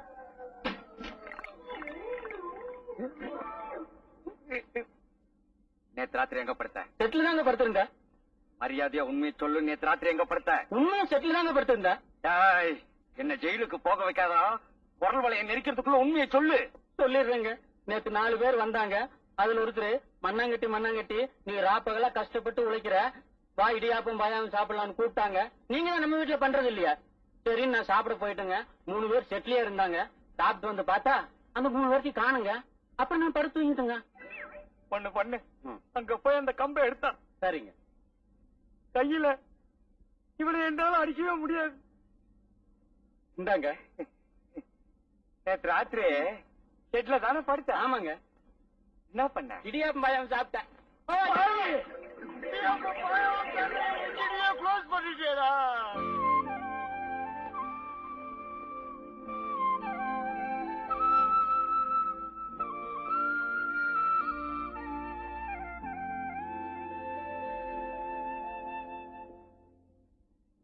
Anchor, auntie, hello, please come, please come. Many happy returns of the day Thank you. It's okay. Please get in. Please. Many happy return Hi, மச்சான். Get in. சார்? அந்த பொண்ணு யாரு அதான்யா நான் கட்டிக்க போற பொண்ணு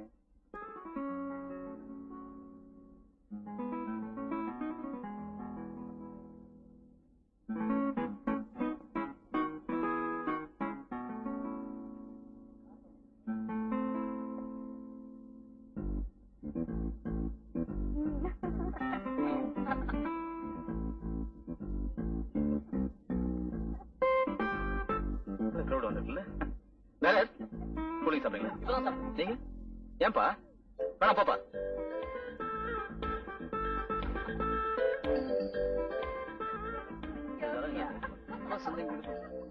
ஒன் செகண்ட் இப்போ வந்துடுறேன். Pen is yours, ma'am.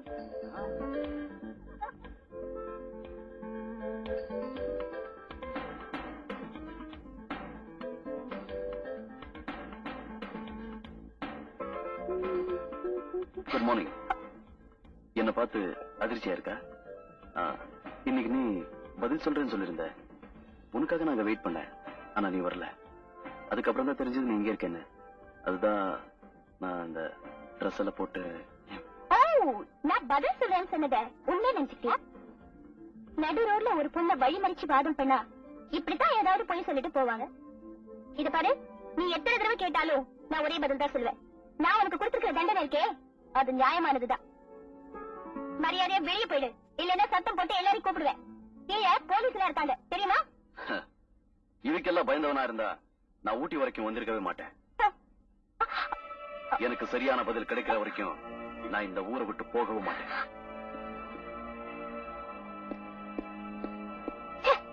அப்ப நீ ஊட்டிலே கடந்து சாக வேண்டியதுதான். அதுக்கு நான் தயாரா தான் இருக்கேன். அண்ணே கையாடு. உன் தங்கச்சி கிட்ட நான் பேசிக்கிட்டு தான் இருந்தேயா? சும்மா சத்தம் போடாத. எனக்கு போட தெரியும். இவ்வளவு பெரிய கூட்டத்துல என் மரியாதை போறத பத்தி நான் கவலைப்பட மாட்டேன். ஆனா உன் மரியாதை நீ காப்பாத்துக்குவேன்னு நினைக்கிறேன்.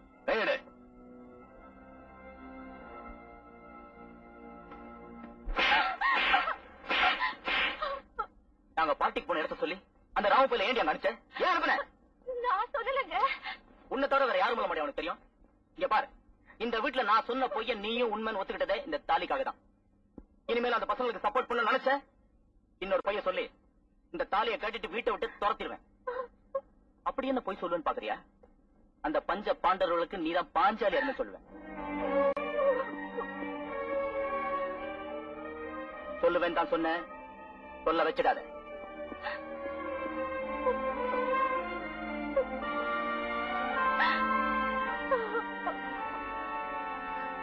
அதெல்லாம் ஒண்ணும் வேணாயா வண்டி ரெடியா ஒரே ஒரு சின்ன வேலை தான் பாக்கி இருக்குன்னு சொன்னாருங்க. என்னையா எப்ப பார்த்தாலும் சின்ன வேலை சின்ன வேலைன்னு இப்ப நான் அவசரமா போகணுமே. அவசரமா போகணுமா? அப்படின்னா வண்டி எடுத்துட்டு போங்க. சின்ன வேலை தானே? அத அப்புறமா பாத்துக்கலாம் சரி சரி இந்த. நேத்து நான் அவர்கிட்ட பேசிட்டேன். இதை கொடுத்துரு. சரிங்க. நான் வண்டி எடுத்துட்டு போறேன். அவர்கிட்ட சொல்லிடு. ம்.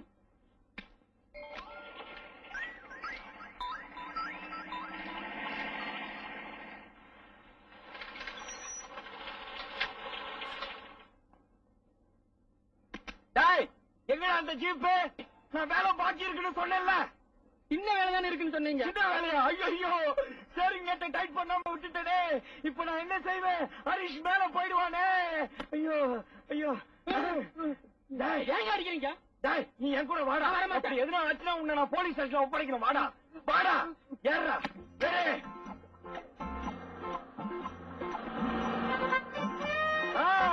அதோ வண்டி.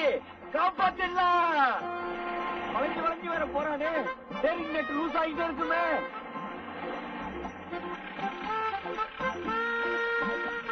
ஐயோ பாதிரியார் யாருறாரு?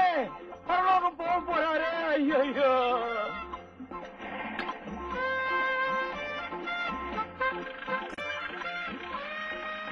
அநியாயமா ஒரு காதல் ஜோடிய காலி பண்ணிட்டியாடா பாவி. கபாதி கபாதி அவங்களுக்கு எதுனா ஆச்சு? நீ தொலைச்சே சொல்லிட்ட.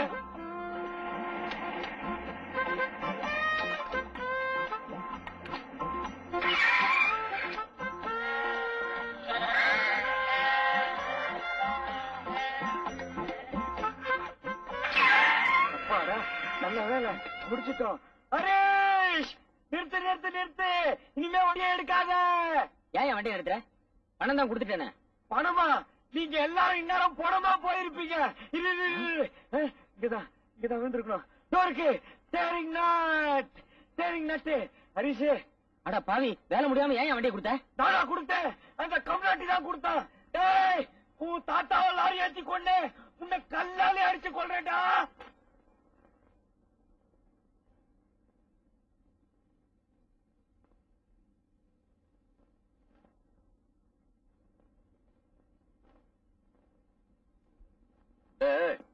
அன்னைக்கு ஃபாரினர் ஒருத்த போட்டோ எடுத்தான்னு சொன்னல அவனுக்கு அட்ரஸ் கொடுத்திருந்த அவன் வச்சிருக்கான் எவ்வளவு அருமையா இருக்குல்ல? உனக்கும் விவசாயம் இல்ல அந்த வெளிநாட்டுக்காரனுக்கும் விவசாயம் இல்ல. ஏண்டா? லவ்வர்ஸ போட்டோ எடுத்தா அவங்க ரெண்டு பேரும் நல்லா நெருக்கமா இருக்கும்போது எடுக்கணும்டா. அதை விட்டு விட்டு சுண்டல் சாப்பிடறதையும் ஐஸ்கிரீம் சாப்பிடறதையும் இந்த போட்டோவே வெஸ்ட் சரி இது வேண்டாம் நல்ல போட்டோ எடுத்து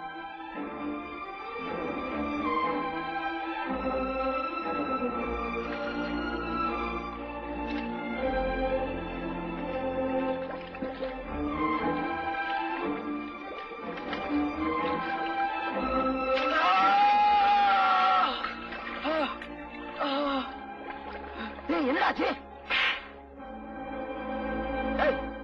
உனக்கு பிடிக்கல பேசாம இருக்க வேண்டியதானடா என்ன தூக்கிறது இது உனக்கு வெறும் போட்டோவா இருக்கலாம். ஆனா என்ன பொறுத்த வரைக்கும் இது என்னுடைய காதல். நானும் அவளும் சேர்ந்து இருக்கிற முதல் போட்டோடா இது. அதுல என்னோட உறவு மட்டும் இருந்தா அது அழிஞ்சு போறது நான் கவலைப்பட்டிருக்க மாட்டேன். ஆனா அவளோட உருவம் அழியிறது என்ன தாங்க முடியாதுடா.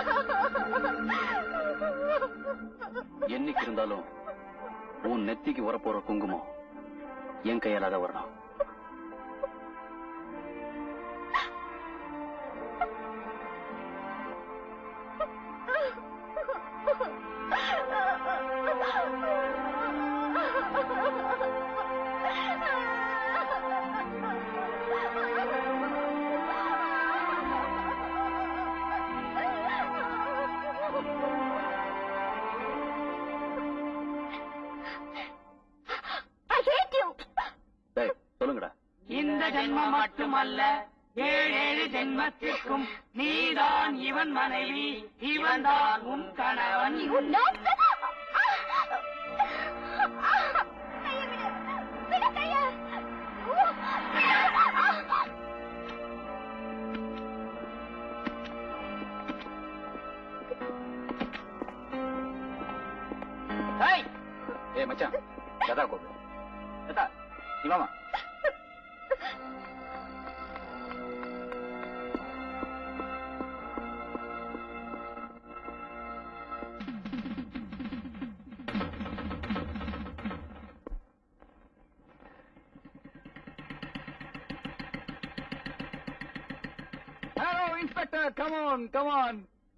எஸ்ஐ உங்களுக்காக தான் வெயிட் பண்ணிருக்கேன். நீங்க வரலன்னு வச்சுங்க உங்களை தேடி நானே போலீஸ் ஸ்டேஷன் வந்திருப்பேன்.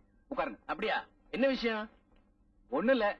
மெட்ராஸ்ல இருந்து ஒரு ரவுடி கம்பளிங்க வந்து என் பர்சனல் லைஃப் ரொம்ப டிஸ்டர்ப் பண்றாங்க அவங்கள எப்படியாவது ஊட்டிய விட்டு விரட்டணும்.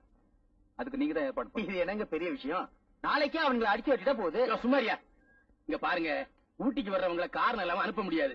அவங்க உங்களை எந்த விதத்துல டிஸ்டர்ப் பண்ணாங்கன்னு கம்ப்ளைண்ட் கொடுக்க முடியுமா? என்ன சார்? நீங்க இருக்கும் போது கம்ப்ளைண்ட் எதுக்கு திடுதுப்புன்னு யாரு பேர்லயும் நடவடிக்கை எடுக்க முடியாது. போதா குறைக்கு. எங்களை பத்தி மக்கள்கிட்ட நல்ல பேரு கடிச்சு கொதறிடுவாங்க. என்ன இன்ஸ்பெக்டர்? நீங்க மனசு வச்சா முடியாதா? உங்களோட கம்ப்ளைண்டும் அவங்க தப்பு பண்ணுனதுக்கான ஆதாரமும் கிடைச்சுன்னா நிச்சயமா நடவடிக்கை எடுப்பேன். குட்டிங்களா?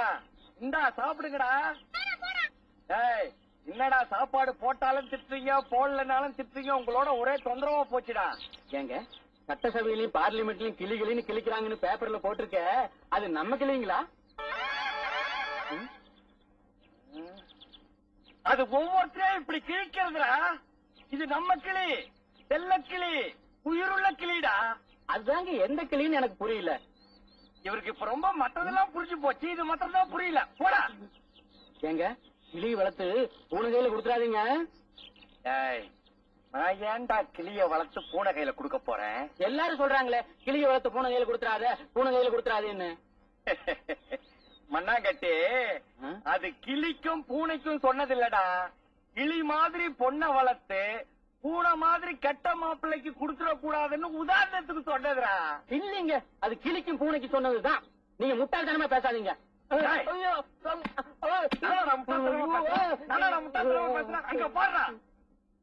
மூணு குரங்கு பொம்மைய போட்டு கெட்டதை பேசாத கெட்டதை கேட்காத கெட்டதை பார்க்காதன்னு போட்டிருக்க. அது மனுஷனுக்கு சொன்னதானடா நீங்க விவரம் புரியாம பேசாதீங்க. அப்படின்னா மூணு மனுஷ பொம்மைகளை போட்டுல சொல்லிருக்கணும் அது மனுஷங்களுக்கு சொன்னது இல்ல. குழந்தைகளுக்கு தான்.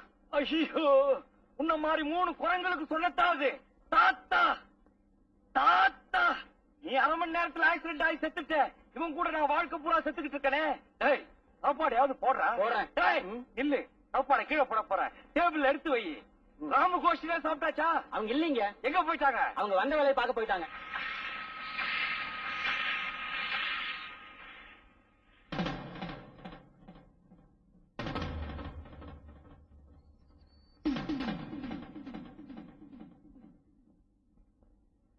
ஒண்ணு இல்ல.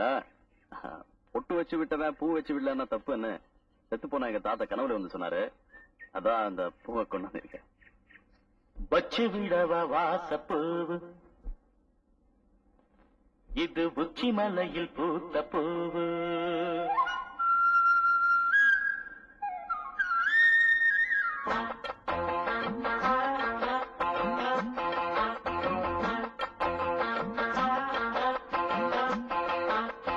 பூச்சி விடவ வாச பூவு இது உச்சி மலையில் பூந்த பூவு.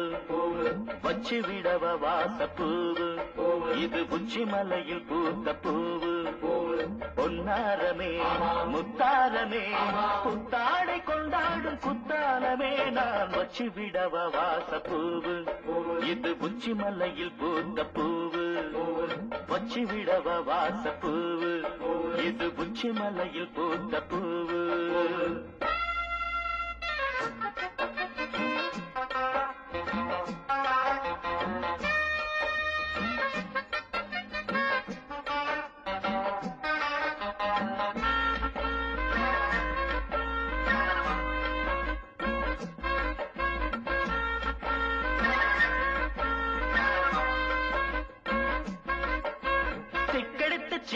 சீப்பெடுத்து சீவி விட்ட கூந்தல் சூடத்தான் பூவு சூடத்தான். அது தேடத்தான் எல்லை தேடத்தான். வாய் வெடிச்ச தாமரைக்கு பூமடிக்கத்தானே நீண்ட நாள் நானும் ஏங்குறேன். நீளமா மூச்சு வாங்குறேன். பூ வைக்கும் பெண்கள் பூவின்றி போனால் பூக்கள் பூக்குமா? பூ மேலே ஆசை இல்லைன்னு சொன்னா ஊர்தான் ஏற்குமா? வெப்பம் சோலை ஓரம். பாடை காற்று வீசுது வந்து பேசுது மாலை நேரம்.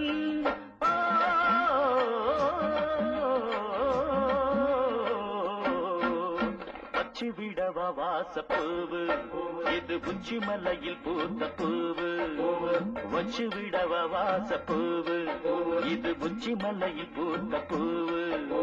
பொன்னாரமே முத்தாரமே புத்தாரை கொண்டாடும் புத்தாலமே நான் வச்சு விடவா வாசப்பூவு.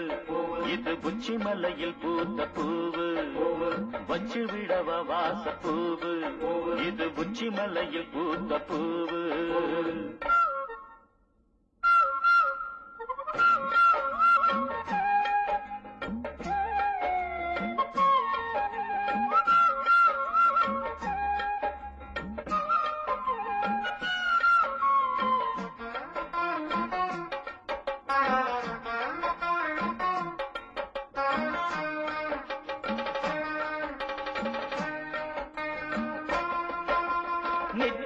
பூப்பறித்து கொண்டு வர சொன்னால் தேவியே என்றும் சம்மதம். தேவையே உந்தன் சங்கமம்.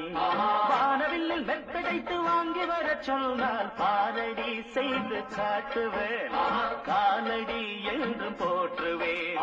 அம்மாடி நீயும் இல்லாமல் போனால் வாழ்க்கை போர்க்களம். உன்னோடு சேர்ந்து நான் காண வேண்டும் காதல் ஊர்வலம்.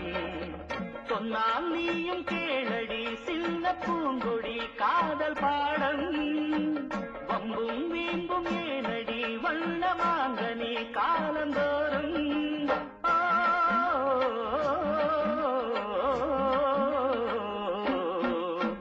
வச்சு விடவா வாசப்பூவு? இது உச்சி மலையில் பூத்த பூவு. வச்சு விடவா வாசப்பூவு? இது உச்சி மலையில் பூத்த பூவு. பொன்னாரமே முத்தாரமே புத்தாடை கொண்டாடும் குத்தாலமே நான் வச்சு விடவா வாசப்பூவு. இது உச்சி மலையில் பூத்த பூவு. வச்சு விடவா வாசப்பூவு. இது உச்சி மலையில் பூத்த பூவு. ஏய் கொஞ்சம் இல்ல இன்னைக்கு நீ இந்த பூ வச்சுக்க மாட்டேன் நடம் பிடிச்ச. ஏய் என்ன நடக்கும் சொல்லுங்கடா. வேணாம் பங்காளி. அதை எவ்வளவு வயல சொல்றதுக்கு வெக்கமா இருக்குது போங்க கேட்டல திரும்ப. திரும்ப.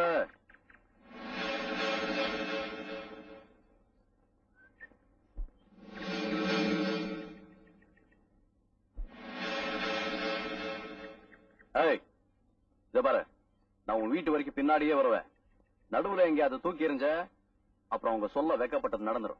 போ. போ. எங்க அடடா. கோவத்துல கூட அழகாத்தான் இருக்க.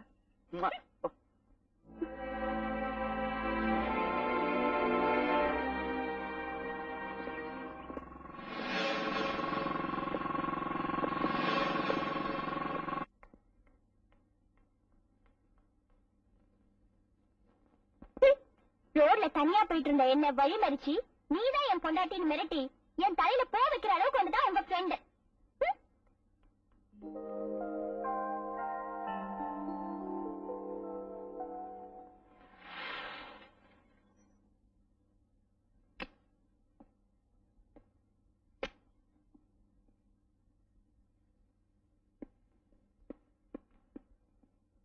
அத்தா இல்ல? எல்லாரும் வெளியில போயிருக்காங்க. லதாவுமா? என்ன பேச்சை காணும்? பள்ளி வாட்டர் ஹீட்டர் ஆன் பண்ணிட்டியா? Latha is there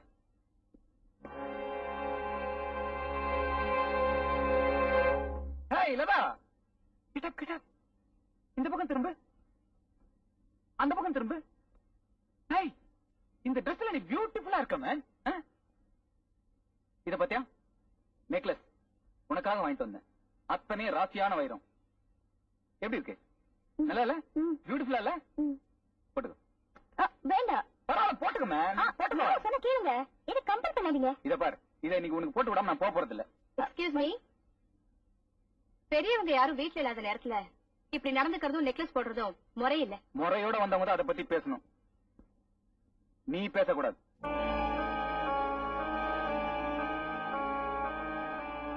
by birth நான் அந்த வீட்டு மாப்பிள்ளை. நீ தந்தடி சாக்குல உள்ள வந்தவ. அத மனசுல வச்சுட்டு கொஞ்சம் அடக்கி பேசு. சதீஷ் மைண்ட் யூ வேர்ட்ஸ் ஒரு பொண்ணுகிட்ட எந்த அளவுக்கு பேசலாமோ அந்த அளவுக்கு தான் பேசணும். அவங்க சொன்னதுல ஒண்ணும் தப்பு இல்லையே. ஓ நீ ஏன் அப்படி ஃபீல் பண்றியா? ஓகே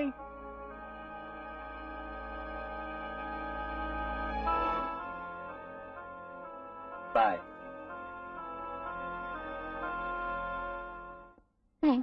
என்ன சதீஷ்? ஆஃப்டர் நீங்க கொடுத்த நெக்லஸ் அவங்க வாங்கிக்கலங்கிறதுக்கு இப்படி ஃபீல் பண்றீங்க? உங்க ஸ்டேட்டஸுக்கு தான் ரொம்ப சர்வசாதாரணம். என்ன பொறுத்த வரைக்கும் இதான் பெரிய விஷயம். இன்னைக்கு உங்க அண்ணி பேச்ச கேட்டுக்கிட்டு நெக்லஸ் வானானவ நாளைக்கு என்னையும் வானானா நான் என்ன பண்றது? போகட்டும். ஏய் நீ சப் இன்ஸ்பெக்டர் ஆச்சுன்னு உன்னை சும்மா விடுறேன். அப்ப போயிட்டா என் ஸ்டேட்டஸும் போயிடுயா என்ன சொல்றீங்க? இந்த கார் பங்களா ட்ரிங்க்ஸ் இந்த ஃப்ரெண்ட்ஷிப் எல்லாமே என் கல்யாணத்துல தான் அடங்கிருது அதுக்கு இடைஞ்சலா இருக்கிறான் தான் அந்த மெட்ராஸ் பசங்களை வேட்டுங்க ஏன்னா இல்லாத வெண்டாக்கார் ரூல்ஸ் எல்லாம் பேசுறீங்க. சதீஷ் நம்ம இன்ஸ்பெக்டர் பத்தி தான் உங்களுக்கு நல்லா தெரியுமே. அவர் ரொம்ப ஸ்ட்ரைட் ஃபார்வர்ட் நீங்களே டைரக்டா டீல் பண்ணுங்க. ம். டீல் பண்றேன்.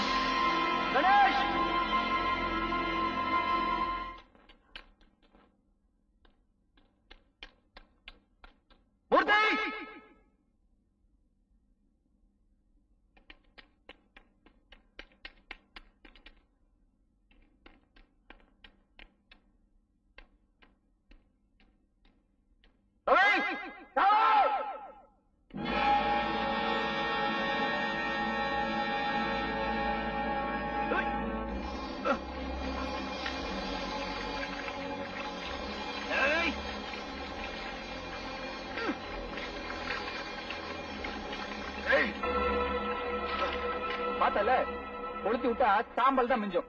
இப்ப சொல்லு ஊட்டி விட்டு ஓடிடுறியா? டேய் நான் இந்த ஊரை விட்டு போகவும் மாட்டேன் என் ஃப்ரெண்ட்ஸை காப்பாத்தாம விடவும் மாட்டேன். ஏய் முடிவு பண்ணிட்டான்டா. சாம்பல தான் அள்ளிட்டு போகணும்னு.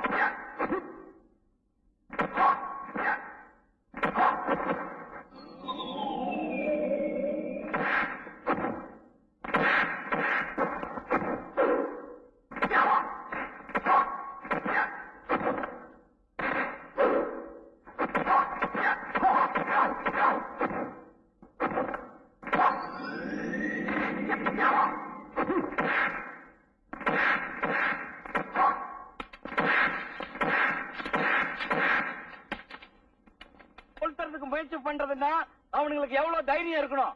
இல்ல ஊட்டியா அவனுங்களுக்கு நினைச்சுக்கிட்டு இருக்கானுங்களா? தயவு செய்து உடனே ஆக்ஷன் எடுக்கிறதுக்கு ட்ரை பண்ணுங்க. இல்ல மேலிடத்துல பேசிக்கிறேன். சார் அவசரப்படாதீங்க. இந்த குரூப் அவங்க ஃபேமிலி மேட்டர்ல தலையிடுறதா கேள்விப்பட்டேன். அது வேற விஷயம். ஆனா எங்களை ஊரை விட்டு போக சொல்லி ஆள் வச்சு அடிக்கிறதுக்கு அவன் யார் சார்? எங்க கிட்ட தான் கார் இல்லையா? இல்ல பெட்ரோல் இல்லையா? இல்ல எங்களுக்கு கொளுத்த தெரியாதா? சட்டப்படி நடந்திருந்தாலும் நாங்க கம்ப்ளைண்ட் கொடுத்துருக்கோம் தயவு செய்து வழக்கம் போல கம்ப்ளைண்ட கடப்புல போட்டாதீங்க நான் மேலிடத்துல பேசி உங்களை மாமூல் இல்லாத ஸ்டேஷனுக்கு மாத்திருவேன். பத்து வா.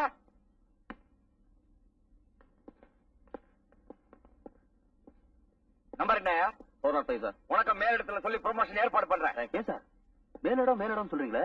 உங்களுக்கு யாரா தெரியும்? டிஎம்ஏ தெரியுமே. எப்படி சார் போட்டோல நிறைய தடவை பாத்துக்கிறேன் அதை வச்சுதான் விட்டேன்.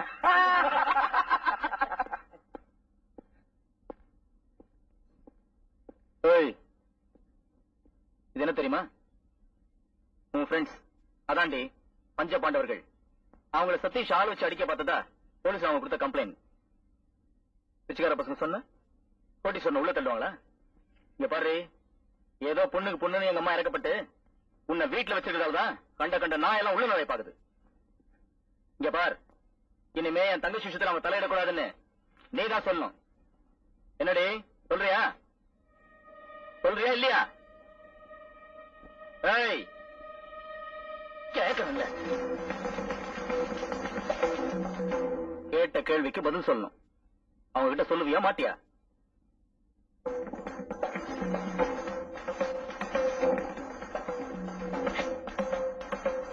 பதில் கேட்டேன். பதில் பதில்.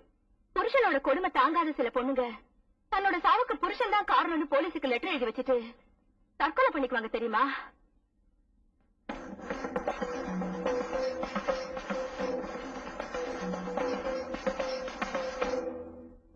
சில பொண்ணுங்க தான் சொன்னேன். நானும் சொல்லல. நிச்சயமா ஆக்ஷன் எடுப்பாங்க. அம்மா தாயே. ஏற்கனவே ஒரு பொண்ணு இவனை பார்த்து சிக்னல் கொடுத்ததுனாலதான் நாங்க இந்த ஊர்ல வந்து அவஸ்தைப்படுறோம். இங்க நீ எனக்கு சிக்னல் கொடுக்குறியா? வேண்டாமா உனக்கு கோடி நமஸ்காரம். இடத்த காலி பண்ணுமா? வரோமையா? என்ன விஷயம்? ஆமா சார் அவன் லதாமாவுக்கு அந்த சதீஷ் குரங்கு பயிலுக்கு நிச்சயத்தை நடக்க போகுது. அதை உடனே உங்ககிட்ட சொல்லி மேற்கொண்டு என்ன செய்யுதுன்னு கேட்டு சொன்னாங்க லட்சுமி அம்மா. ஏய் புறப்படுங்கடா போலாம். டேய், இருங்கடா. ராமையா அவங்களை கவலைப்பட வேண்டாம் சொல்லு. மத்தத நான் பாத்துக்கிறேன் நீ புறப்படு.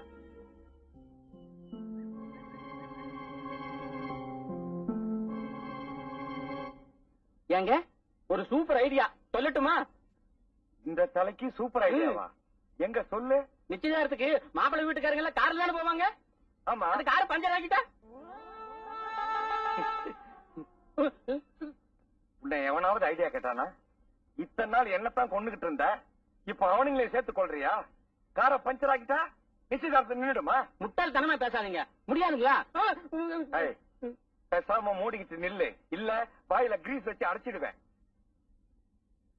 ஏன் மகாலி அந்த சதீஷ் பேர நாலு போடு போட்டா? கல்யாணமா வேண்டாம்னு சொல்லி போட்டு ஓடி போறோம்ல அட ஆக்கங்கிட்ட கூவ. அதுவால பெரிய விஷயம். லதாவை சம்மதிக்க வைக்கணும்ல? என்ன நான் சொல்லுவது அதெல்லாம் கடல் வச்சு மீன் பிடிக்கிற சமாச்சாரம். சரி ராம பேசாம அந்த பொண்ணை தூக்கிட்டு வந்து ஏதாவது கோயில் வச்சு தாலி கட்டிடா. ஏழு வருஷம் உள்ள தள்ளிடுவோம் ஏதாவது ஐடியா குடுக்கறதுன்னா ஒழுங்கா குடுங்க. இல்லன்னா மூடிக்கிட்டு இருங்க. அவனே யோசிச்சு முடிவு பண்ணிக்கிட்டோம். டேய் தஞ்சாவூர். டேய் கோயம்புத்தூர். டேய் திருநெல்வேலி. எந்திரிக்கா. வந்துட்டானுங்க மாவட்ட வாரியா. இந்த பக்கமா?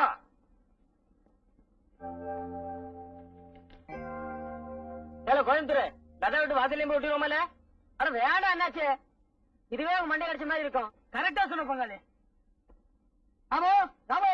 என்னடா? லதாவுக்கு நடக்க போற நிச்சயத்தை தடுக்க வழி கண்டுபிடிச்சோம்ல என்னடா சொல்றீங்க? அவன் உன்னை காதலிச்ச விஷயத்த போஸ்டர்ஸ் ஒட்டி போட்ட பங்காளியோ இடியட் ஏன்டா அப்படி செஞ்சீங்க? ஏடா அப்படி பேசுற? உனக்காக தான் அவசர அவசரமா போய் ஒட்டிட்டு வந்திருக்கோம். அச்சி வாய்முடுறா இந்த ஐடியா எனக்கு தெரியாதா? என்னதான் என் காதலியா இருந்தாலும் அவ ஒரு பொண்ணுடா.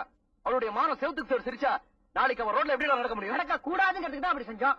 நாளைக்கு அவன் ரோட்ல நடந்தா உன் கூட தான் நடக்கணுமே தவிர வேற எவன் கூட நடக்க கூடாது அதுக்காக நீங்க நினைக்கிறதெல்லாம் செஞ்சிருதா அப்புறம் பாத்ரூம்ல கண்டபடி கறித்துண்டால எழுதுறவனுக்கு நமக்கு என்னடா வித்தியாசம்? சரிதான் போடா. காதலிக்கிற மாதிரி நடிச்சு ஏமாத்திட்டு போறதை விட இது ஒண்ணும் மோசம் இல்ல. டேய் நீங்க ஆயிரம் சொன்னாலும் சரிடா. ஒரு பொண்ணு தலை குனிறது ஒண்ணு வெக்கத்தினால இருக்கணும் இல்ல தாலிக்காக இருக்கணும். அவமானத்துக்காக இருக்க கூடாது ஏண்டா உன்னை அன்னைக்கு அத்தனை பேருக்கு அவமானப்படுத்தினால அது மறந்து போட்டு பேசுறியாக்கும் டேய் அத பத்தி நான் கவலைப்பட மாட்டேன். என்ன பொறுத்த வரைக்கும் லதாவை நாலு பேர் தப்பா பேசக்கூடாது அவ்வளவுதான். இது பாருங்க. மொத்தவங்க பாக்குறதுக்கு முன்னாடி அந்த போஸ்டர்ல கிழிச்சிட்டு வந்துடல வாங்க. டேய் இவன் இந்த மாதிரிலாம் பேசுவான் தானே இவனுக்கு தெரியாம நம்ம செஞ்சோம். அது சரியா வச்சு பாத்தீங்களாடா? இந்த பார் ராமு இந்த நிச்சயதார்த்தத்தை நிறுத்த இத தவிர வேற வழியே கிடையாது கிடையாது கிடையாது.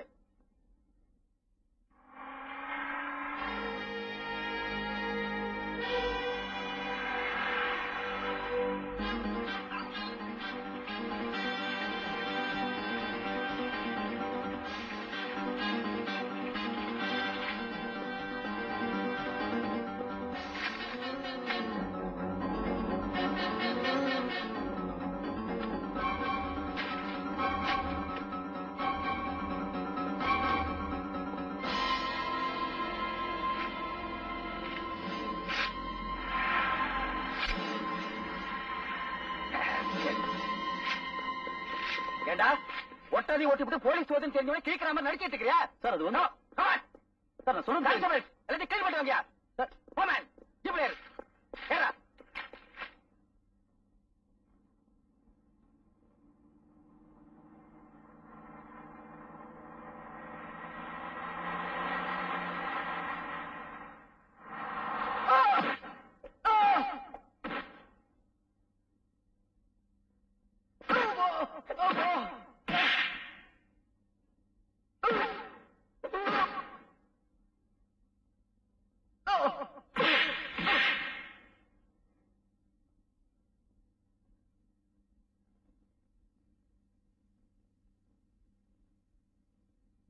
என்னைக்கு இருந்தாலும் லதா என் மனைவியா வருவாங்கிற நம்பிக்கை எனக்கு இருக்கு. அதனால நீங்க யார்கிட்டையும் எதையும் சொல்ல வேண்டாம். சொல்ல மாட்டேன்னு சத்தியம் பண்ணி கொடுங்க.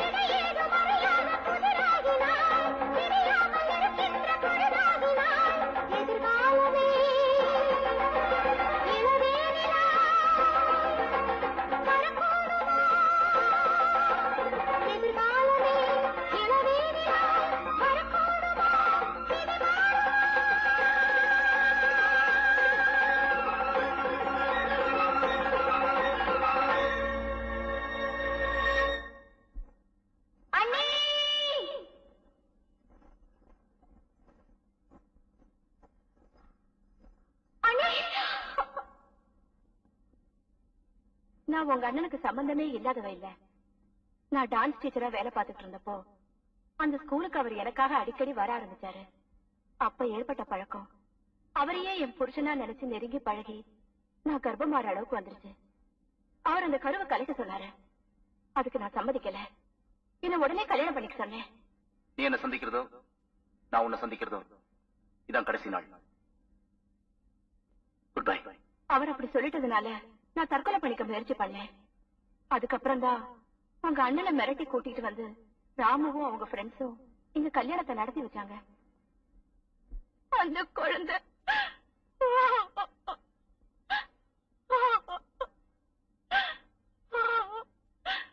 என்ன விட்டு பாதையிலேயே போயிடுச்சு.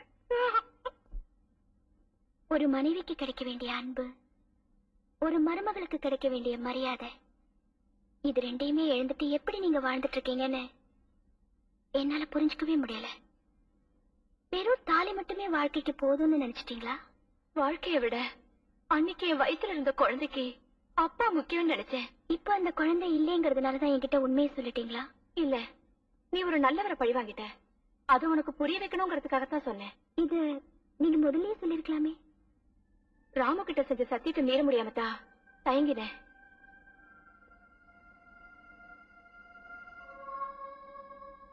காதல்ங்கிற வார்த்தையே களங்கப்படுத்துற உங்க அண்ணன் செஞ்சது நியாயம்னு. நீ இன்னமும் நினைக்கிறியா? மனசுல நினைச்சவளை தான் மனைவியா அடையணும்னு போராடிட்டு இருக்க ராமு. எவ்வளவு உயர்வானவர்னு உனக்கு புரியலையா? தப்பு செய்யறது ஏற்க திருத்திக்கு சந்தர்ப்பம் கிடைக்கும் போது திருந்துறதும் ஏற்க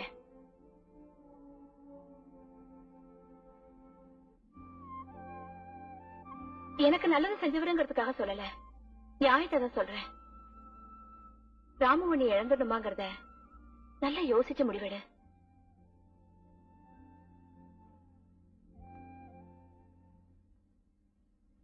என்னையா தேடுற? ஐயா தபால் ஆபீஸ் வரைக்கும் போயிட்டு வந்துடுறேங்க. போய் சொல்லாத. போஸ்ட் ஆபீஸ் போறேன்னு சொல்லிட்டு அந்த ராவு பையில பாக்க போறியா? ஐயா உன் விஷயம் எல்லாம் தெரிஞ்சுதான் கேக்குறேன். நீ அவனை பார்க்க போனதுல சம்பளம் வாங்குறது இங்க வேலை செய்யற அந்த பசங்களுக்கா? பேசையா? நினைச்சுக்கங்கய்யா மத்த நாள்ல நாங்க போனது நெசந்தாங்க. ஆனா இப்ப நான் தமிழ்நாட்டுக்கு தாங்க போறேன். ஊர்ல என் பொண்டாட்டிக்கு உடம்பு சரியில்லையா? என் சம்பள காசு அனுப்பிச்சு வச்சுட்டு உன் பொண்டாட்டி என்ன இன்னைக்கு செத்து போற? போய் கேட்டுட்டு இல்லையா ஏன் அப்படி அவசரமா பேசுற? போகத்துல இருக்க என் பொண்டாட்டி மேல நான் உசுர வச்சிருக்கேன். நீ வேற வாக்கப்பட்ட பொண்டாட்டி பக்கத்துல இருந்து வகையா வாழ வக்க இல்லாம. எப்போ இவ்வளவு பேசிட்டியோ? இங்க வேலை கிடையாது. போன வழிய. அட சட்டம் போப்பேன். உன் வேலையாச்சு நீ ஆச்சு எனக்கு ஒண்ணும் தேவையில்லை. ஆனா ஒண்ணு மட்டும் சொல்லிட்டு போறேன். நீ பெருசா நினைச்சு கிடக்கியே காசு பணம் சொத்து கௌரவம் இதெல்லாம் உன் கூட கொஞ்சம் தூரம் தான் வரும். ஆனா இந்த புருஷன் பொண்டாட்டி பாசம் இருக்கு. இது தலைமுறை தலைமுறை வரக்கூடியதியா? ஞாபகம் வச்சுக்க ஆமா.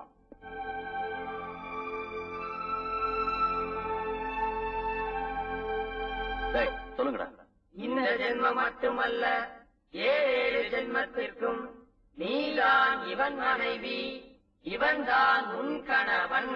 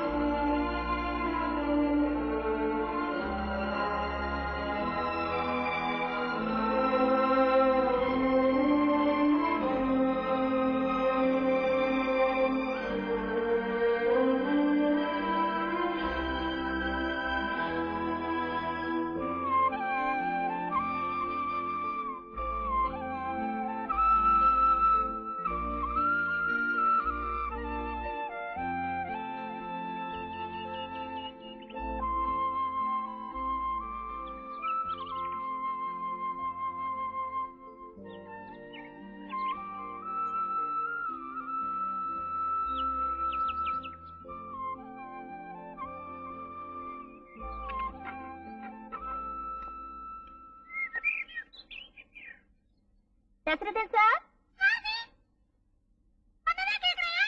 ஓ, என் பேரு லதா எவ்வளவு ஆழமாய் நேசிச்சிருந்தா இந்த பறவைகள் கிட்ட எல்லாம் கூட சொல்லி வச்சிருப்பாரு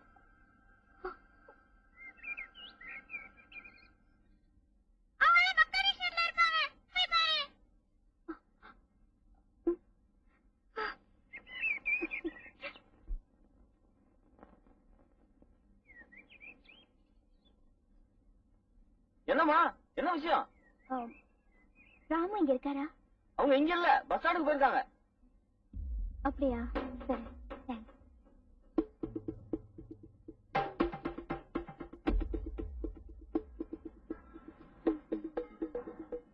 நீங்க ஒண்ணும் கவலைப்படாதீங்க.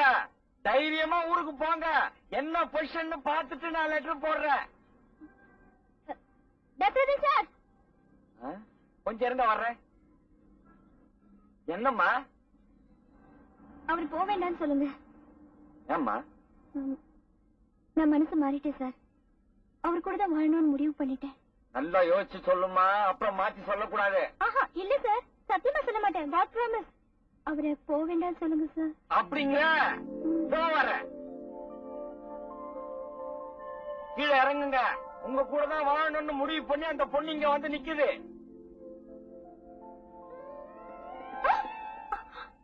நீ சொன்னபடியே கூட்டிட்டு வந்துட்டேன். ஐயோ சார். நான் சொன்னது இவரே இல்ல சார். பாத்தியாமா இதுக்குத்தான் முதல்லயே சொன்னேன் நல்லா யோசிச்சு சொல்லுன்னு. ஊருக்கு போயிட்டு இருந்தவர் இவர்தான் ஏன் மாமனாரு. ஐயோ நான் சொன்னது ராமுவ சார். அது எனக்கு முதல்லயே தெரியும். இந்த மாதிரி மனசுங்களுடைய லேப்டாப்ப அதான் இதய துடிப்பு அதிகமாக்கணும்னு தான் அப்படி சொன்னேன். ராமு பார்க்கல இருக்கிறப்போ அப்படியா? தேங்க்யூ சார் எப்படி மாமா? அட போங்க மாப்பிள. மனசுல ஆசையை தூண்டி விட்டுட்டு கெடுத்துட்டீங்களே கடைசி காலத்துல இந்த பொண்ணை நான் கல்யாணம் பண்ணிக்கிட்டு சந்தோஷமா இருக்கலாம்னு நினைச்சேன். ஏன் அப்படி பாக்குறீங்க? இல்ல பஸ்ஸுக்குள்ள உங்களை ஏத்தலாம்னு நினைச்சேன். இப்ப பஸ் மேல ஏத்தலாம்னு நினைக்கிறேன்.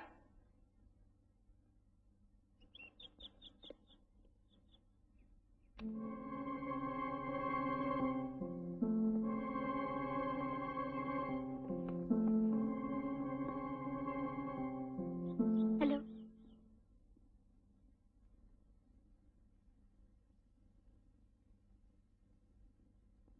எல்லாரும் என்ன மன்னிச்சிருங்க. நான் திடீர்னு வந்து இப்படி சொல்றது உங்களுக்கு எல்லாம் ஆச்சரியமா தான் இருக்கும். ஆனா உண்மையாவே நான் மனசு மாதிரி மன்னிப்பு கேட்கணும் தான் வந்திருக்கேன்.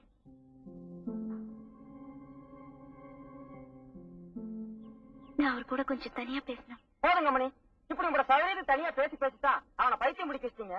இனிமேலும் நடிச்சு அவனை ஒரே அடியை கொண்டு போட்டாதீங்க இனிமே அவனை பாக்கணும் வைக்கணுங்கிற பேச்சை வச்சுக்காதீங்க. உங்க சோழிய பாத்துட்டு போங்க. எப்பா உங்களுக்கு எல்லாம் எப்படிதான் இந்த பொய்க்கண்ணீர் பொசுக்கு பொசுக்குன்னு வருதோ தெரியலையே. டேய் பொய்யா காலையில வர்றப்போ கண்ணீர் வருதா பெரிய விஷயம். இப்ப நான் என்ன சொன்னாலும் உங்களால நம்ப முடியாதுதான் உங்களை நம்ப வைக்கிறதுக்கு நான் என்ன செய்யணும் சொல்லுங்க. எப்படி அவனை பல பேருக்கு முன்னாடி அவமானப்படுத்தினியோ அதே மாதிரி பல பேருக்கு முன்னாடி கௌரவப்படுத்து அப்ப நம்புறோம்.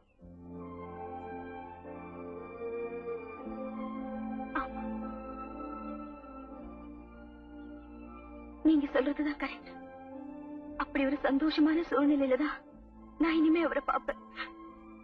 தயவு செஞ்சு நான் வந்துட்டு போன விஷயத்த மட்டும் அவர்கிட்ட சொல்லிடுங்க நான் வரேன்.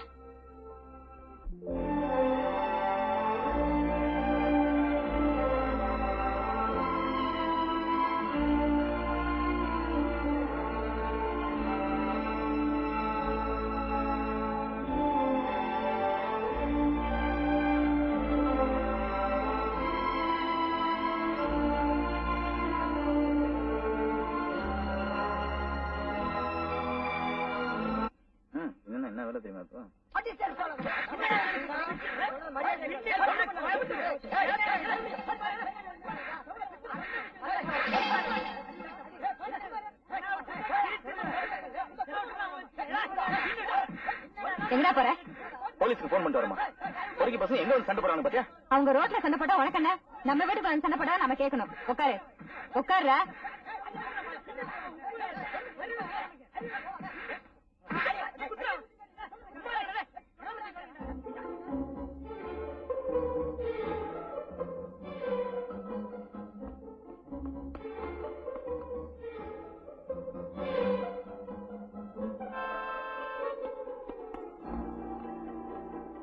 தப்பா பைப்பை பிடிச்சி ஏறி மொட்டை மாடி வழியா வந்துட்டேன். லதா என்ன பார்க்க வந்ததா என் ஃப்ரெண்ட்ஸ் சொன்னாங்க. ஆனா மீட் பண்ண முடியல. அதான் இப்படி. உங்க ஃப்ரெண்ட்ஸ் எல்லாம் வெளியில சண்டை போட்டுட்டு இருக்காங்களே? அதெல்லாம் என்னுடைய செட்டப் தான். லதா எங்க போயிருக்கு? அவ வெளியில போயிருக்கா? அவ ஏன் என்ன பார்க்க வந்தாங்கிற விஷயம் உங்களுக்கு தெரியுமா? அவ உண்மையை தெரிஞ்சுக்கிட்டு மனசு திருந்திதான் உங்களை பார்க்க வந்திருக்கா. உண்மையாவா சொல்றீங்க? ஆமா. உங்க வாழ்க்கையும் நிம்மதியும் பலி கொடுக்க என் மனசாட்சி இடம் கொடுக்கல. அதனாலதான் உண்மையை சொல்லிட்டேன். நீங்க எதுக்கு? நீங்க எதை பத்தியும் கவலைப்படாதீங்க. எல்லாம் நல்லபடியா நடக்கும். லதா வந்தா நான் சொல்லிடுறேன். நீங்க இங்க இருந்து கிளம்புங்க. கொஞ்ச நேரம் வெயிட் பண்ணி பார்த்துட்டு போயிடுறேன். தயவு செஞ்சு போயிடுங்க. Please sir. இவ்வளவு பெரிய அமௌண்ட்ட பேங்க் லோனை வாங்கிட்டு திருப்பி கட்டலன்னா எப்படி? ஹெட் ஆபீஸ்ல என்ன போட்டு கொட கொடன்னு குறையறாங்க. இத பாருங்க. இதெல்லாம் பேங்க் சமாச்சாரம். நீங்க திருப்பி கட்டலன்னா இந்த வீடு எஸ்டேட் எல்லாம் ஏலத்துக்கு வந்துரும். என்ன சார் இந்த சின்ன விஷயத்தை போய் பெருசா எடுத்து பேசிட்டு இருக்கீங்க? இன்னும் கொஞ்ச நாளைக்கு பொறுத்துங்க. நான் கல்யாணம் பண்ணிக்க போற பொண்ணு யாருன்னு தெரியுமா உங்களுக்கு? எங்க மாமாவுக்கு ஒரே பொண்ணு. ஏகப்பட்ட சொத்து. கல்யாணத்துக்கு அப்புறம் என் பேர கடன் தான். என் மாமா என்ன சும்மா விட்டுறாரு சார்? அட்லீஸ்ட் எனக்காக பொண்ணுக்காவது கடனை திருப்பி அடைப்பார்ல? You don't worry take it easy என்ன சார் இது? கல்யாணத்துக்கும் கடனுக்கும் முடிச்சு போடுறீங்க? அதானே மலை போல நம்பி இருக்கிறேன். அதுக்கு தான் முடிச்சா போடுறேன். அப்ப நீங்க அந்த பொண்ணு மேல ஆசைப்பட்டு கிடைக்கலையா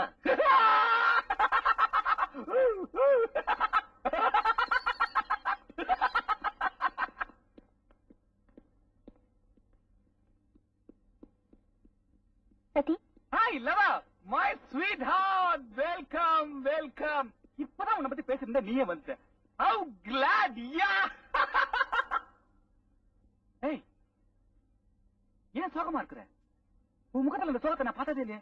வாட் ஹேப்பன் நான் நம்ம கல்யாணத்தை பத்தி தான் பேச வந்தேன். சொல்லு சொல்லு. என்ன மன்னிச்சிருங்க இந்த கல்யாணம் நடக்காது. இதுவரைக்கும் ஒருத்தரோட உண்மையான காதலை நான் புரிஞ்சுக்காம இருந்துட்டேன். இப்ப அதை புரிஞ்சுக்கிட்டு காலம் பூரா அவர் கூட தான் வாழணுங்கிற முடிவுக்கு வந்துட்டேன். அதை சொல்றதுக்காக தான் வந்தேன். நீ மாத்திக்கிட்டா? நான் அதை ஒத்துக்கணுமா? எத்தனையோ கல்யாணம் மணமேடையில கூட மாறுறது உண்டு சதீஷ். நீ மனசு வச்சா இதையும் மாத்திக்கலாம்.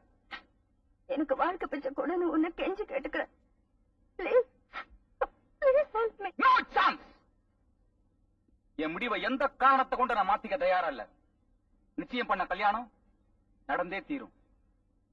இதை மீறி நீ எந்த முடிவெடுத்தாலும் உன்னை நான் உயிரோட வாழ விட மாட்டேன்.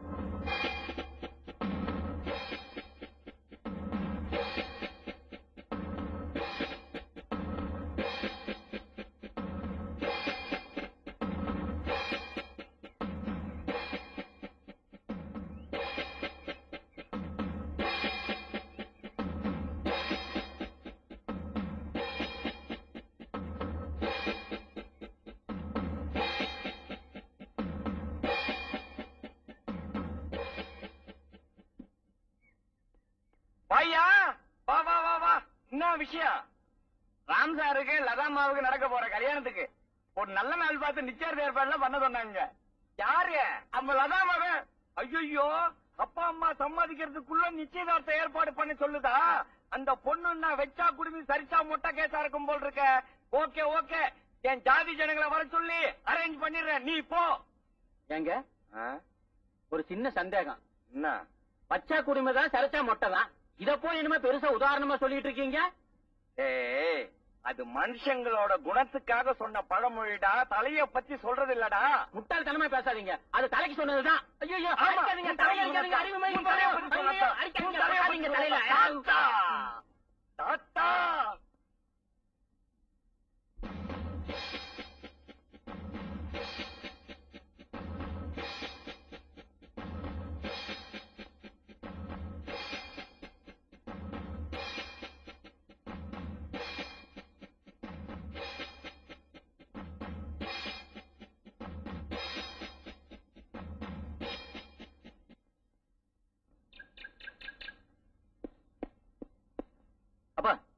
லதா வீட்டுல தானே இருக்கா? ஆமா ஏன்? அந்த ராம போயில அவன் கூட்டமோ அங்க நீ நிச்சயதார்த்தத்துக்கு ஏற்பாடு பண்ணிட்டு இருக்காங்கப்பா தெரியும்.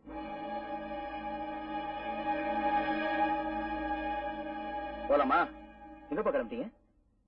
நிச்சயதார்த்தத்துக்கு தான். எந்த நிச்சயதார்த்தத்துக்கு? லதாவோட நிச்சயதார்த்தத்துக்கு. அந்த பையன் நம்ம குடும்ப கௌரவத்தை கெடுத்தனங்கிறத மறந்துட்டு பேசுறீங்க.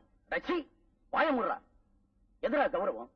ஒரு பொண்ணை ஏமாத்தி கைவிட முயற்சி பண்ணி அதை எதிர்த்து கல்யாணம் பண்ணி வச்ச மேல பழி போறதா கௌரவம்? எல்லா விஷயத்தையும் லதா என்கிட்ட சொல்லிடுச்சு. இவ்வளவு நாளா ஒரு பொய்ய உண்மையாக்கி எங்களையெல்லாம் நம்ப வச்சுட்டியடா பாவி. உன்னை என் மகன் சொல்லிக்கிறதுக்கு நான் வெட்கப்படுறேன். நீ சம்மதிக்கிறியோ இல்லையோ? இந்த நிச்சயதார்த்தம் ஏன் சம்மதத்தோட தான் நடக்குது? என்ன இவ்வளவு ஈஸியா சொல்லிட்டீங்க? ஏற்கனவே சத்யஸ்ரீ லதாக்கு நடந்த நிச்சயதார்த்தத்தை முடிக்கிறதுனால நம்ம சொந்த விட்டு போட்டு நான் எவ்வளவு கவலைப்படுறேன் தெரியுமா? அதை பத்தி நீ ஒண்ணு கவலைப்பட வேண்டாம். நியாயத்துக்கு கட்டுப்பட்டு நானே சதீஷ பார்த்து அதுக்காக மன்னிப்பு கேட்டுட்டேன். இதுக்கு மேல இந்த விஷயத்துல நீயே தலையிட்டா கூட உன்னை தூக்கி எறிஞ்சிட்டு இந்த சொத்தை எல்லாம் என் மருமக பேர்ல எழுதி வச்சிருவேன். என்ன பொறுத்த வரைக்கும் என் பொண்ணு மனசுக்கு பிடிச்ச வாழ்க்கை வாழணும். அதுதான் எனக்கு முக்கியம். அதனால இந்த நிச்சயதார்த்தமும் கல்யாணமும் நடந்தே தீரணும்.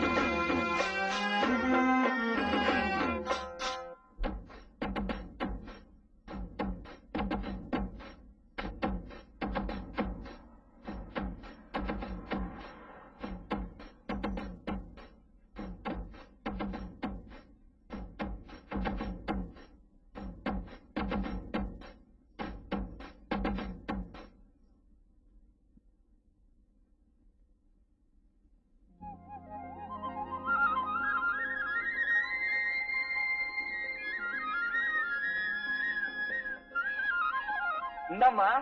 மைக்கு என்னம்மா அப்படி பாக்குற? இங்க இருக்கிற எங்க சாதி சனம் மட்டும் இல்ல ஊட்டியில இருக்க எல்லாருக்கும் உன் மனமாற்றம் தெரியட்டுமே தான் ஊர் பூரா ஸ்பீக்கர் கட்டி வச்சிருக்கேன் ஒரு வித்தியாசமா இருக்கும்ல? இந்தாம்மா உன் முடிவு இந்த மைக்ல சொல்லு.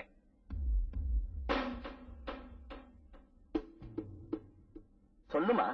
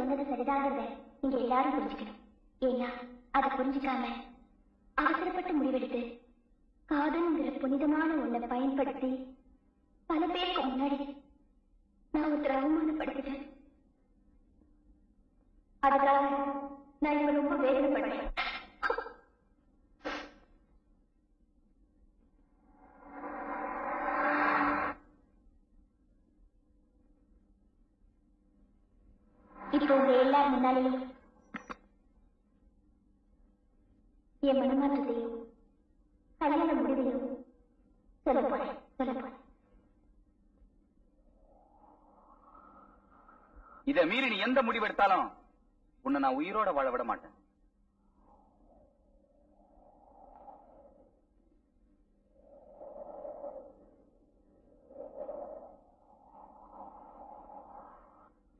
என் வாழ்நாள் பூரா நான் ராமோட மனைவியா தான் வாழணும்னு ஆசைப்படுறேன்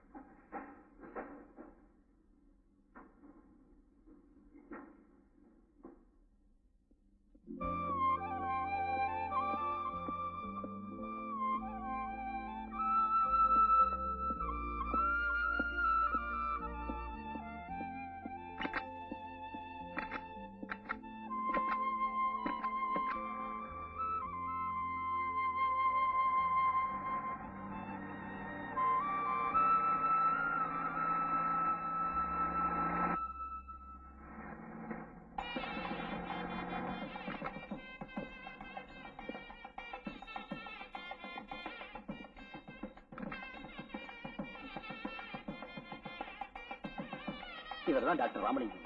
லதாவோட உயிரை காப்பாத்தினவர். போங்க போய் ரெடி ஆகும்